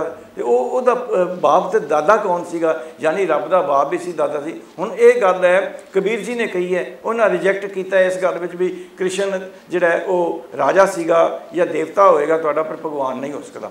ਕਿਉਂਕਿ ਭਗਵਾਨ ਦਾ ਬਾਪ ਜਾਂ ਦਾਦਾ ਨਹੀਂ ਹੋ ਸਕਦੇ। ਹੁਣ ਇਹ ਸ਼ਬਦ ਦਰਬਾਰ ਸਾਹਿਬ 'ਚ ਨਹੀਂ ਪੜਿਆ ਜਾ ਸਕਦਾ। ਇੱਕ ਰਾਗੀ ਸੀ ਜਿਹੜਾ ਜਿਹੜਾ ਉੱਥੇ ਪਹਿਲਾਂ ਕੀਰਤਨ ਕਰਦਾ ਰਿਹਾ, ਉਹਨੇ ਕੋਸ਼ਿਸ਼ ਕੀਤੀ ਤੇ ਉਹਨੂੰ ਰੋਕ ਦਿੱਤਾ ਗਿਆ। ਉਸ ਤੋਂ ਬਾਅਦ ਇੱਕ ਵਾਰੀ ਨਿਪੜਿਆ ਮੁੜ ਕੇ ਨਹੀਂ ਪੜਨ ਦਿੱਤਾ ਗਿਆ ਤੇ ਉਹਦੀ ਟ੍ਰਾਂਸਫਰ ਕਰਤੀ ਗਈ, ਫਿਰ ਰਿਜ਼ਾਈਨ ਦੇ ਕੇ ਅਮਰੀਕਾ ਜਾ ਕੇ ਕਿਸੇ ਗੁਰਦੁਆਰੇ 'ਚ ਰਾਗੀ ਲੱਗ ਗਿਆ। ਸੋ ਇਹ ਅਦਾਰੇ ਇਹਨਾਂ ਦੇ ਕਬਜ਼ੇ 'ਚ ਹੋਣ ਕਰਕੇ ਇਹ ਹੋ ਰਿਹਾ ਪਰ ਸੋਸ਼ਲ ਮੀਡੀਆ ਜਿਹੜਾ ਹੈ, ਉਸ ਨੇ ਇਹਨਾਂ ਨੂੰ ਆ ਕੇ ਨੱਥ ਪਾਈ ਹੈ ਬੇਸ਼ੱਕ ਲੋਕ ਸੁਣਦੇ ਆ ਚੜ੍ਹਦੀ ਕਲਾ ਟੀਵੀ ਤੋਂ ਦਿੱਲੀ ਤੋਂ ਸੁਣਦੇ ਬੇਸ਼ੱਕ ਪਰ ਇਸ ਦੇ ਬਾਵਜੂਦ ਸੁਣ ਕੇ ਵੀ ਨਾ ਉਹ ਇੱਕ ਕੰਨੋਂ ਸੁਣ ਕੇ ਦੂਜੇ ਕੰਨੋਂ ਕੱਢ ਦਿੰਦੇ ਆ ਵੀ ਇਹ ਬੰਤਾ ਸਿੰਘ ਤੇ ਕੁਲਵੰਤ ਸਿੰਘ ਦੀ ਆਈ ਹੈ ਤੇ ਇਹ ਸਮਝ ਲਓ ਵੀ ਕੋਈ ਪੁਜਾਰੀ ਜਿਹੜਾ ਕਿਸੇ ਮੰਦਿਰ ਦਾ ਉਹ ਇੱਥੇ ਆ ਕੇ ਕਥਾ ਕਰ ਰਿਹਾ। ਮੰਦਿਰ ਦੇ ਪੁਜਾਰੀ ਜਿਹੜੇ ਨੇ ਉਹ ਬੰਗਲਾ ਸਾਹਿਬ ਤੇ ਕਾਬਜ਼ ਨੇ। ਸਰ ਇੱਕ as a informed person intellectual ਇਹ ਤੁਹਾਡਾ ਵਿਊ ਪੁਆਇੰਟ ਹੋ ਸਕਦਾ। ਬਟ ਵਿਦ ਡਿਊ ਰਿਸਪੈਕਟ ਜਿਹੜਾ ਇੱਕ ਲੇਮੈਨ ਹੈ ਜਿਹੜਾ ਆਪਣਾ ਆਫਿਸ ਜਾਂਦਾ ਹੈ ਸੈਟਰਡੇ ਸੰਡੇ ਗੁਰਦੁਆਰੇ ਮੱਥਾ ਟੇਕ ਕੇ ਆਪਣੀ ਬੇਨਤੀ ਕਰਕੇ ਚਲਾ ਜਾਂਦਾ ਹੈ। ਉਹਦੇ ਲਈ ਤੇ ਜਿਹੜਾ ਜਿਹਨੇ ਹਜ਼ੂਰੀਆ ਪਾਇਆ, ਗੋਲ ਪੱਗ ਬੰਨੀ, ਉਸ ਤੋਂ ਵੱਡਾ ਤਾਂ ਕੋਈ ਬ੍ਰਹਮ ਨਹੀਂ। ਮੇਰਾ ਸਵਾਲ ਆਏਗਾ ਤੁਸੀਂ ਗੱਲ ਕੀਤੀ ਡਿਜੀਟਲ ਦੇ ਵਿੱਚ ਵਿਊਅਰਸ਼ਿਪ ਦੀ। ਇਹ ਜਸਟੀਫਾਈ ਨਹੀਂ ਕਰਦਾ ਕਿ ਜਿਹੜੇ ਦੇਖ ਰਹੇ ਨੇ ਉਹ ਉਹ ਸੱਚੀ ਕਿੰਨੇ ਕੁ ਉਹਦੇ ਵਿੱਚ ਆਰਗੇਨਿਕ ਵਿਊ ਨੇ ਆ, ਉਹ ਉਹ ਚਲੋ ਇੱਕ ਅਲੱਗ ਡਿਬੇਟ ਹੈ। ਪਰ ਜਿਨ੍ਹਾਂ ਨੂੰ ਅਸੀਂ ਸਮਝ ਰਹੇ ਹਾਂ ਜਿਹੜਾ ਗੁਰਮਤ ਦੇ ਅਨੁਸਾਰ ਵਿਲਨ ਹੈਗੇ ਨੇ ਨਿਰਮਲੀਏ ਤੇ ਜੇ ਅਸੀਂ ਉਹਨਾਂ ਨੂੰ ਇਹ ਕਹੀਏ ਕਿ ਇਹ ਤੇ ਨਿਰਮਲ ਨੇ, ਤਾਂ ਕਹਿੰਦੇ ਫਿਰ ਕੀ ਪ੍ਰੋਬਲਮ ਹੈ? ਉਹਨਾਂ ਨੂੰ ਕਿਉਂ ਨਹੀਂ ਸਮਝ ਆ ਰਿਹਾ ਕਿ ਇਹ ਵਿਲਨ ਨੇ? ਇਹ ਹੀਰੋ ਨਹੀਂ ਨੇ? ਮੇਰਾ ਖਿਆਲ ਹੈ ਤੁਸੀਂ ਪਬਲਿਕ ਓਪੀਨੀਅਨ ਨੂੰ ਨਹੀਂ ਜਾਣਦੇ। ਪਬਲਿਕ ਓਪੀਨੀਅਨ ਇਹ ਹੈ ਕਿ ਟਕਸਾਲ ਦਾ ਮਤਲਬ ਹੈ ਵੀ ਬ੍ਰਾਹਮਣਵਾਦ। ਨਿਰਮਲਿਆਂ ਨੂੰ ਬ੍ਰਾਹਮਣਵਾਦ। ਉਹ ਬਿਲਕੁਲ ਇਹਨਾਂ ਨੂੰ ਤੁਹਾਨੂੰ ਭੁਲੇਖਾ ਵੀ ਉਹ ਇਹਨਾਂ ਨੂੰ ਹੁਣ ਅਮਰੀਕਾ ਦੇ ਵਿੱਚ authentic ਮੈਂ ਗੱਲ ਮੰਨਿਆ। ਕਰਾਂ। ਜੀ ਅਮਰੀਕਾ ਜਰਮਨੀ ਇੰਗਲੈਂਡ ਕੈਨੇਡਾ। ਇੱਥੇ ਇਹਨਾਂ ਦੇ ਇੰਨੇ ਨੇ ਵੱਡੇ ਵੱਡੇ ਸਥਾਨ ਨੇ ਜਿੱਥੇ ਲੋਕੀ ਜਾਂਦੇ ਨੇ। ਅਮਰੀਕਾ ਵਰਗਾ ਦੇਸ਼ ਇੰਨਾ ਡਿਵੈਲਪ ਦੇਸ਼। ਉੱਥੇ ਜਿਹੜੇ ਹੈਗੇ ਉਹਨਾਂ ਕੋਲ ਸਭ ਕੁਝ ਹੈਗਾ ਲੈਪਟਾਪ ਵੀ ਹੈਗਾ ਸੋਸ਼ਲ ਮੀਡੀਆ ਵੀ ਹੈਗਾ ਫੇਸਬੁੱਕ ਵੀ ਹੈਗਾ। ਸਾਡੇ ਤੋਂ 10 ਗੁਣਾ ਅੱਗੇ ਨੇ ਉਹ 50 ਗੁਣਾ ਅੱਗੇ ਨੇ। ਉਹ ਵੀ ਲੋਕੀ ਇਹਨਾਂ ਦੇ ਫੋਲਡ 'ਚ ਕਿਵੇਂ ਆ ਜਾਂਦੇ ਨੇ? ਨਹੀਂ ਆਏ ਤੁਸੀਂ ਇਹ ਮੈਂ ਇਸੇ ਕਰਕੇ ਕਹਿੰਦਾ ਵੀ ਤੁਸੀਂ ਇਸ ਫੀਲਡ ਦੇ ਫਿਰ ਜਰਮਨੀ 'ਚ ਜਦੋਂ ਪੰਥ ਪ੍ਰੀਤ ਹੋਣੀ ਗਏ ਉਹਨਾਂ ਤੇ ਅਟੈਕ ਹੋਇਆ। ਮੈਂ ਹਜੇ ਢੱਡਰੀਆਂ ਵਾਲਾ ਉੱਥੇ ਗਿਆ ਉਹਦੇ ਤੇ ਫਿਰ ਪ੍ਰੋਟੈਸਟ ਹੋਇਆ। ਫਿਰ ਉਹ ਕਿੱਥੇ ਹੋਇਆ ਕਿੱਥੋਂ ਆ ਜਾਂਦੇ ਮੈਂ ਉਹੀ ਤੁਹਾਨੂੰ ਦੱਸਣ ਲੱਗਾ ਵੀ ਤੁਸੀਂ ਚੰਦ ਇੱਕ ਬੰਦਿਆਂ ਨੂੰ ਸਾਰੀ ਪਬਲਿਕ ਨਹੀਂ ਕਹਿ ਸਕਦੇ। ਹੁਣ ਤੁਸੀਂ ਜਰਮਨ ਦੀ ਗੱਲ ਕਰਦੇ ਹੋ ਫ੍ਰੈਂਕਫਰਟ 'ਚ ਸਾਰੀਆਂ ਸਾਡੇ ਕੋਲ ਵੀਡੀਓ ਮੌਜੂਦ ਨੇ ਜੇ ਤੁਸੀਂ ਦੇਖੀਆਂ ਹੋਣ ਤੇ ਟੋਟਲ ਇਹਨਾਂ ਦੀ ਬੰਦੇ 16 ਸਨ। ਸਾਰੀ ਜਰਮਨੀ ਚੋਂ ਇਕੱਠੇ ਕਰਕੇ 16 ਬੰਦੇ ਉਹਨਾਂ ਨੇ ਲਿਆਂਦੇ ਸੀਗੇ। ਇਸ ਤਰ੍ਹਾਂ ਸੈਨ ਹੋਜ਼ੇ 'ਚ ਗਿਣਤੀ ਤੁਸੀਂ ਦੇਖ ਲਓ 15 20 ਤੋਂ ਵੱਧ ਬੰਦੇ ਨਹੀਂ ਹਨ। ਤੇ ਜਦੋਂ ਉਸ ਦੇ ਅਗਲੇ ਦਿਨ ਦੀਵਾਨ ਲੱਗਾ ਉਹ ਨਹੀਂ ਆਏ ਮੁੜ ਕੇ। ਅਗਲੇ ਦਿਨ ਦੇ ਦੀਵਾਨ 'ਚ ਤੁਸੀਂ ਦੇਖੋ ਵੀ ਹਾਲ ਭਰਿਆ ਪਿਆ ਹੈ। ਇੰਨੀ ਸੰਗਤ ਉਸ ਗੁਰਦੁਆਰੇ 'ਚ ਕਦੇ ਨਹੀਂ ਸੀ ਆਈ, ਜਿੰਨੀ ਰਣਜੀਤ ਸਿੰਘ ਟੱਡਰੀਆਂ ਵਾਲੇ ਨੇ ਸੁਣਨ ਆਈ ਹੈ। ਪਤਪ੍ਰੀਤ ਸਿੰਘ ਦਾ ਤੁਸੀਂ ਇਕੱਠ ਦੇਖੋ ਕਿੰਨਾ ਸੀਗਾ। ਕੈਨੇਡਾ ਵਿੱਚ ਤਾਂ ਇਹ ਜਿਹੜੇ ਨਿਰਮਲੇ ਵੜ ਵੀ ਨਹੀਂ ਸਕਦੇ। ਕਿਸੇ ਗੁਰਦੁਆਰੇ 'ਚ ਨਹੀਂ, ਇੱਕ ਸਿਰਫ ਮਾਲਟਨ ਦਾ ਗੁਰਦੁਆਰਾ ਹੈ, ਟ੍ਰਾਂਟੋ ਵਿੱਚ ਮਾਲਟਨ ਦਾ ਗੁਰਦੁਆਰਾ, ਜਿੱਥੇ ਇਹਨਾਂ ਦੀ ਕੋਈ ਗੱਲ ਥੋੜੀ ਜਿਹੀ ਚੱਲਦੀ ਹੈ। ਔਰ ਉਹਦੇ ਮੁਕਾਬਲੇ 'ਚ ਡਿਕਸੀ ਰੋਡ ਗੁਰਦੁਆਰਾ ਬਹੁਤੀ ਦੂਰ ਨਹੀਂ ਉੱਥੋਂ। ਉੱਥੋਂ ਦੀ ਸੰਗਤ ਦੀ ਗਿਣਤੀ ਦੇਖ ਲਿਆ ਕਰੋ ਤੇ ਇਹਨਾਂ ਦੀ ਗਿਣਤੀ ਦੇਖ ਲਿਆ ਕਰੋ। 90% ਲੋਕ ਇਹਨਾਂ ਨੂੰ ਵਿਦੇਸ਼ਾਂ ਵਿੱਚ ਰੱਦ ਕਰਦੇ ਹਨ। ਬੇਸ਼ੱਕ ਇਹਨਾਂ ਕੋਲ ਕਿੰਨਾ ਮਰਜ਼ੀ ਵੱਡਾ ਮੀਡੀਆ ਮੀਡੀਆ ਹੋਵੇ ਇੰਗਲੈਂਡ ਵਿੱਚ ਇਹਨਾਂ ਕੋਲ ਪੰਜ ਚਾਰ ਟੀਵੀ ਨੇ। ਚਾਰ ਟੀਵੀ ਦੇ ਸਾਰੇ ਜਿਹੜੇ ਨੂੰ ਮਨਮਤ ਦਾ ਪ੍ਰਚਾਰ ਕੀਤਾ ਜਾ ਰਿਹਾ ਹੈ। ਉਹ ਇਹਨਾਂ ਤੋਂ ਐਸੋਸੀਏਟਿਡ ਹੈਗੇ। ਨਿਰਮਲਾ ਇਹਨਾਂ ਦੇ ਕਬਜ਼ਾ ਹੈ ਉਹਨਾਂ ਦਾ। ਕਬਜ਼ਾ ਹੈਗਾ। ਹਾਂ ਖਾਲਸਾ ਟੀਵੀ ਤਾਂ ਇਹਨਾਂ ਦੀ ਮਲਕੀਅਤ ਹੈ ਸਿੱਖ ਚੈਨਲ ਇਹਨਾਂ ਦੀ ਮਲਕੀਅਤ ਹੈ ਅਕਾਲ ਚੈਨਲ ਇਹਨਾਂ ਦੀ ਮਲਕੀਅਤ ਹੈ ਸੰਗਤ ਟੀਵੀ ਇਹਨਾਂ ਦੀ ਮਲਕੀਅਤ ਹੈ। ਇਹ ਚਾਰੇ ਦੇ ਚਾਰੇ ਜਿਹੜੇ ਨੇ ਇਹਨਾਂ ਦੇ ਮਾਲਕ ਜਾਂ ਇਹਨਾਂ ਦੇ ਸੰਚਾਲਕ। ਜਿਹੜੇ ਨੇ ਇਹ ਸਾਰੇ ਇਹ ਚੌਕ ਮਹਿਤਾ ਡੇਰੇ ਵਾਲੇ। ਇੰਨੇ ਵੱਡੇ ਵੱਡੇ ਚੈਨਲਾਂ ਤੇ ਇਹਨਾਂ ਦਾ ਕਬਜ਼ਾ ਹੈ। ਇਹਦੇ ਲਈ ਕੁਝ ਤਾਂ ਮੈਕੈਨਿਜ਼ਮ ਚਾਹੀਦਾ ਹੋਏਗਾ। ਕੁਝ ਤੇ ਗਰਾਊਂਡ ਵਿਦ ਵਿੱਚ ਇਹਨਾਂ ਨੂੰ ਆਪਣਾ ਗਰਾਊਂਡ ਤਿਆਰ ਕਰਨ ਲਈ ਕੁਝ ਨਾ ਕੁਝ ਤੇ ਚਾਹੀਦਾ ਇਹ ਕਿਵੇਂ ਇਹਨਾਂ ਦਾ ਫਿਰ ਹੋ ਰਿਹਾ ਲੋਕੀ ਸਪੋਰਟ ਕਰ ਰਹੇ ਨੇ ਨਾ? ਫਾਈਨੈਂਸ਼ਲੀ ਸਪੋਰਟ ਕਰ ਰਹੇ ਨੇ ਨਾ? ਤਾਂ ਹੀ ਤੇ ਉਹਨਾਂ ਦੇ ਚੈਨਲ ਉਹਨਾਂ ਦੇ ਜਿਹੜੇ ਪ੍ਰਚਾਰਕ ਨੇ ਫਲਰਿਸ਼ ਕਰ ਰਹੇ ਨੇ। ਦੇਖੋ ਜਦੋਂ ਇਹਨਾਂ ਨੇ ਸ਼ੁਰੂ ਕੀਤੇ ਸੀ ਨਾ ਇਹਨਾਂ ਨੇ ਇਹੋ ਜਿਹਾ ਪ੍ਰਚਾਰ ਨਹੀਂ ਸੀ ਕੀਤਾ ਨਿਰਭੈ ਵਾਲਾ ਸਿਰਫ ਗੱਲ ਕਰਦੇ ਸੀ ਸਿੱਖੀ ਦੀ। ਜਦੋਂ ਇਹਨਾਂ ਕੋਲ ਇਕਨੋਮਿਕ ਸਟੈਬਿਲਿਟੀ ਆ। ਗਈ ਫਿਰ ਇਹਨਾਂ ਨੇ ਇਸੇ ਪਾਸੇ ਤੁਰ ਗਿਆ ਇੱਕ ਮਿੰਟ ਤੋਂ ਕੀ ਵਜ੍ਹਾ ਸੀ? ਮੈਂ ਦੱਸਣ ਲੱਗਾ ਤੁਹਾਨੂੰ। ਇੱਥੇ ਕਿਉਂਕਿ ਇਹਨਾਂ ਕੋਲ ਪੈਸੇ ਸ਼ੁਰੂ ਸ਼ੁਰੂ ਚ ਬਹੁਤ ਜ਼ਿਆਦਾ ਨਹੀਂ ਸਨ ਇਹਨਾਂ ਨੇ ਸਾਧਾਂ ਨੂੰ ਪ੍ਰਮੋਟ ਕਰਨਾ ਸ਼ੁਰੂ ਕੀਤਾ। ਲਿਆ ਕੇ ਸਾਧ ਜਿਹੜਾ ਟੀਵੀ ਦੇ ਉੱਤੇ ਉਹਨੂੰ ਪੇਸ਼ ਕਰਨਾ ਉਹਦੀ ਕਥਾ ਕਰਾਣੀ ਉਹਦੇ ਇੰਟਰਵਿਊ ਲੈਣੀ ਔਰ ਉਹਦੇ ਨਾਲ ਹੀ ਅਪੀਲਾਂ ਕਰਨੀਆਂ ਵੀ ਇਹ ਪ੍ਰਚਾਰ ਉੱਥੇ ਕਰਦਾ ਪ੍ਰਚਾਰ ਕਰਦਾ ਹੈ ਜਾਂ ਫਲਾਣਾ ਡੇਰਾ ਚਲਾਉਂਦਾ ਹੈ ਇਹਨੂੰ ਪੈਸੇ ਦਿੱਤੇ ਜਾਣ। ਤੁਹਾਨੂੰ ਇੱਕ ਸ਼ੌਕਿੰਗ ਗੱਲ ਦੱਸਾਂ। 30 ਜਿੰਨੇ ਇਨਕਮ ਪੈਸੇ ਇਕੱਠੇ ਹੁੰਦੇ ਆ, ਉਹ ਚੈਨਲ ਨੂੰ ਆਉਂਦੇ ਆ। ਚੈਨਲ 30% ਰੱਖ ਕੇ ਬਾਕੀ ਇਹਨਾਂ ਨੂੰ ਦਿੰਦਾ ਚੈਨਲ ਦੀ ਤਾਂ ਦੁਕਾਨਦਾਰੀ ਬਣੀ ਹੋਈ ਹੈ, ਸਾਧਾਂ ਦੀ ਦੁਕਾਨਦਾਰੀ ਹੈ। ਸਾਧਾਂ ਨੂੰ ਪੈਸੇ ਇਕੱਠ- ਇਕੱਠੇ ਕਰਾ ਕੇ ਤੇ ਆਪ ਲੈਂਦੇ ਆ ਔਰ ਇਹ ਆਪ ਮੰਨਦੇ ਆ। ਕੋਈ 30 ਲੈਂਦਾ ਕੋਈ 31 ਕੋਈ 35 ਕੋਈ 15% ਬਟ ਸਰ ਦੇਖੋ ਉਹਨਾਂ ਦੀ ਕਾਮਯਾਬੀ ਨੂੰ ਅਸੀਂ ਅਵੋਇਡ ਨਹੀਂ ਕਰ ਸਕਦੇ। ਕਈ ਦੋਗਲੇ ਇਦਾਂ ਦੇ ਪ੍ਰਚਾਰਕ ਵੀ ਹੈਗੇ ਨੇ ਜਿਹੜੇ ਸੈਲਫ ਸਟਾਈਲ ਐਂਕਰ ਤੇ ਪੱਤਰਕਾਰ ਵੀ ਬਣੇ ਹੋਏ ਨੇ। ਦੇ ਡੋਨਟ ਹੈਵ ਐਜੂਕੇਸ਼ਨ ਠੀਕ ਹੈ। ਉਹਨਾਂ ਕੋਲ ਨਾ ਜਰਨਲਿਜ਼ਮ ਦੀ ਨੌਲੇਜ ਹੈ। ਉਹ ਉਹ ਉਹ ਆਪਣੇ ਆਪ ਨੂੰ ਤਤ ਗੁਰਮਤ ਵਾਲੇ ਵੀ ਕਹਿੰਦੇ ਨੇ। ਉਹ ਇਹਨਾਂ ਦੇ ਚੈਨਲ ਤੇ ਜਾ ਕੇ ਵੀ ਜਾਂਦੇ ਨੇ। ਉਹ ਦੋਗਲੇ ਜਿਹੜੇ ਪ੍ਰਚਾਰਕ ਤੇ ਸੈਲਫ ਸਟਾਈਲ ਪੱਤਰਕਾਰ ਹੈਗੇ ਨੇ ਆਪ ਬਣੇ ਪੱਤਰਕਾਰ ਉਹਨਾਂ ਦੇ ਬਾਰੇ ਫਿਰ ਕੀ ਕਹੋਗੇ? ਉਹਨਾਂ ਦੀ ਅਚੀਵਮੈਂਟ ਨਹੀਂ ਉਹਨਾਂ ਨੂੰ ਉਹਨਾਂ ਨੇ ਹਾਈਜੈਕ ਕਰ ਲਿਆ। ਬਿਲਕੁਲ ਠੀਕ ਹੈ ਤੁਹਾਡੀ ਗੱਲ ਹਾਈਜੈਕ ਕੀਤਾ ਹੈ ਪਰ ਸਾਡੇ ਜਿਹੜੇ ਗੁਰਮਤ ਟਕਸਾਲ ਵਾਲੇ ਹੈਗੇ ਉਹਨਾਂ ਦਾ ਇੱਕ ਚੈਨਲ ਤੁਸੀਂ ਮੈਨੂੰ ਕੋਟ ਕਰ ਦਿਓ। ਹਾਂ ਹੈਗਾ ਐਮਐਚ ਮਿਊਜ਼ਿਕ ਜਿਹੜਾ ਐਮਐਚ ਚੈਨਲ ਹੈ ਇੰਗਲੈਂਡ ਦਾ ਉਹ ਜਿਹੜਾ ਗੁਰਮਤ ਦਾ ਮੰਨਿਆ ਜਾਂਦਾ ਹੈ। ਉਹ ਇਹਨਾਂ ਨੂੰ ਸ਼ਰੇਆਮ ਕ੍ਰਿਟਿਸਾਈਜ਼ ਕਰਦੇ ਵੀ ਤੁਸੀਂ ਜਿਹੜੇ ਪੈਸੇ ਦੇ ਰਹੇ ਹੋ ਨਾ ਇਹਨਾਂ ਚੈਨਲਾਂ ਤੇ ਨਾਂ ਨਹੀਂ ਲੈਂਦੇ ਹੋ ਕਿਉਂਕਿ ਕਾਨੂੰਨ ਹੈ ਤੁਸੀਂ ਨਾਂ ਨਹੀਂ ਲੈ ਸਕਦੇ ਵੀ ਜਿਹੜੇ ਚੈਨਲ ਨੂੰ ਪੈਸੇ ਦਿੰਦੇ ਹੋ ਇਹ ਤੁਹਾਡੇ ਖੂਹ 'ਚ ਜਾ ਰਹੇ ਨੇ। ਅਕਲੀ ਕੀਚੇਦਾਨ ਦੀ ਗੱਲ ਹਰ ਚੌਥੇ ਦੂਜੇ ਦਿਨ ਉਹ ਇਹ ਗੱਲਾਂ ਕਹਿੰਦੇ ਨੇ ਕਿਉਂਕਿ ਮੈਂ ਖੁਦ ਉਸ ਟੀਵੀ ਤੇ ਜਾਣਾ ਤੇ ਮੈਂ ਇਹ ਗੱਲਾਂ ਕਰਦਾ ਵੀ ਤੁਸੀਂ ਇਹਨਾਂ ਨੂੰ ਜਿਹੜੇ ਦੇ ਰਹੇ ਹੋ ਇਹ ਇੰਨੀ ਪਰਸੈਂਟੇਜ ਲੈਂਦੇ ਜੀ ਔਰ ਆਪ ਮੰਨਦੇ ਨੇ ਕਿ ਤੁਹਾਡਾ ਪੈਸਾ ਖੂਹ 'ਚ ਜਾ ਰਿਹਾ ਕਿਸੇ ਲੇਖੇ ਨਹੀਂ ਲੱਗ ਰਿਹਾ। ਤੇ ਅਹ, ਲੋਕਾਂ 'ਚ ਕਿਉਂਕਿ ਕਰਮਕਾਂਡ ਦੀ ਆਦਤ ਹੁੰਦੀ ਹੈ ਤਾਂ ਉਹ ਜਿਹੜੇ ਸਾਧਾਂ ਦੇ ਨਾਲ ਤੁਰ- ਤੁਰਨ ਦੀ ਆਦਤ ਹੁੰਦੀ ਹੈ ਉਹ ਇਹਨਾਂ ਦਿੰਦੇ ਆ ਇੰਗਲੈਂਡ ਵਿੱਚ ਸਿਰਫ ਇੱਕ ਚੈਨਲ ਹੈ ਜਿਹੜਾ ਇਹਨਾਂ ਦਾ ਟਾਕਰਾ ਕਰ ਰਿਹਾ ਤੇ ਉਹਦੇ ਮੁਕਾਬਲੇ 'ਚ ਇਹ ਚਾਰ ਨੇ ਜਿਹੜੇ ਚੌਂਕ ਮਹਿਤਾ ਡੇਰਾ ਦੇ ਨਾਲ ਜੁੜੇ ਹੋਏ ਨੇ ਧੁੰਮੇ ਨਾਲ ਜੁੜੇ ਹੋਏ ਨੇ ਸ਼ਰੇਆਮ ਮੰਨਦੇ ਵੀ ਨੇ ਔਰ ਉੱਥੇ ਹੋਰ ਵੀ ਕਈ ਕੁਕਰਮ ਪਰ ਸਰ ਇਹਨੂੰ ਡੋਨੇਸ਼ਨ ਵੀ ਦੇਖੋ ਨਾ ਇਹਨਾਂ ਦਾ ਨਾਂ ਚੱਲ ਰਿਹਾ ਹੁੰਦਾ ਪਬਲਿਕ ਫੰਡਿੰਗ ਵਾਸਤੇ ਜਿਹੜਾ ਫੰਡਿੰਗ ਦੇ ਰਿਹਾ ਹੁੰਦਾ ਉਹਦਾ ਨਾਂ ਦੇ ਰਿਹਾ ਹੁੰਦਾ that means people are supporting them supporting their ideology England ਦੇ ਵਿੱਚ ਖਾਸ ਕਰ ਇਹ ਇੰਗਲੈਂਡ ਦੇ ਵਿੱਚ ਇਹ ਆਰਥੋਡਾਕਸ ਜਿਹੜਾ ਹੈਗਾ ਸੁਪਰਸਟੀਸ਼ਨ ਥਿੰਕਿੰਗ ਹੈ ਡੇਰਾ ਵਾ ਗੁੰਡਾ ਟਕਸਾਲ ਦਾ ਇੰਨਾ ਉਹ ਕਿਉਂ ਹੈ ਰਸੂਖ? ਦੋ ਕਾਰਨ ਨੇ ਵੱਡੇ। ਨੰਬਰ 1 ਜਦੋਂ 84 ਦਾ ਸਾਕਾ ਹੋਇਆ ਦਰਬਾਰ ਸਾਹਿਬ ਤੇ ਹਮਲਾ ਹੋਇਆ ਤੇ ਲੋਕਾਂ 'ਚ ਰੋਸ ਸੀਗਾ। ਜੀ। ਉਦੋਂ ਅਕਾਲੀ ਦਲ ਹੀ ਸੀਗਾ ਵਿਦੇਸ਼ਾਂ 'ਚ ਸਿਰਫ ਇੰਗਲੈਂਡ ਵਿੱਚ ਵੀ ਸਾਊਥ ਹਾਲ 'ਚ ਹੀ ਅਕਾਲੀ ਦਲ ਸੀ। ਮੈਂ ਵੀ ਉੱਥੋਂ ਉੱਥੇ ਸੀਗਾ ਅਕਾਲੀ ਜਿਹੜਾ ਸੋਹਣ ਸਿੰਘ ਪ੍ਰਧਾਨ ਸਨ। ਜੀ। ਤੇ ਅਸੀਂ ਅਕਸਰ ਉੱਥੇ ਲੈਕਚਰ ਕਰਿਆ ਕਰਦੇ ਸਾਂ ਸਾਊਥ ਹਾਲ ਗੁਰਦੁਆਰੇ। ਜਦੋਂ ਹੋਈ ਇਹ ਘਟਨਾ ਤੇ ਜਿਹੜੇ ਕਮਿਊਨਿਸਟ ਸੀਗੇ।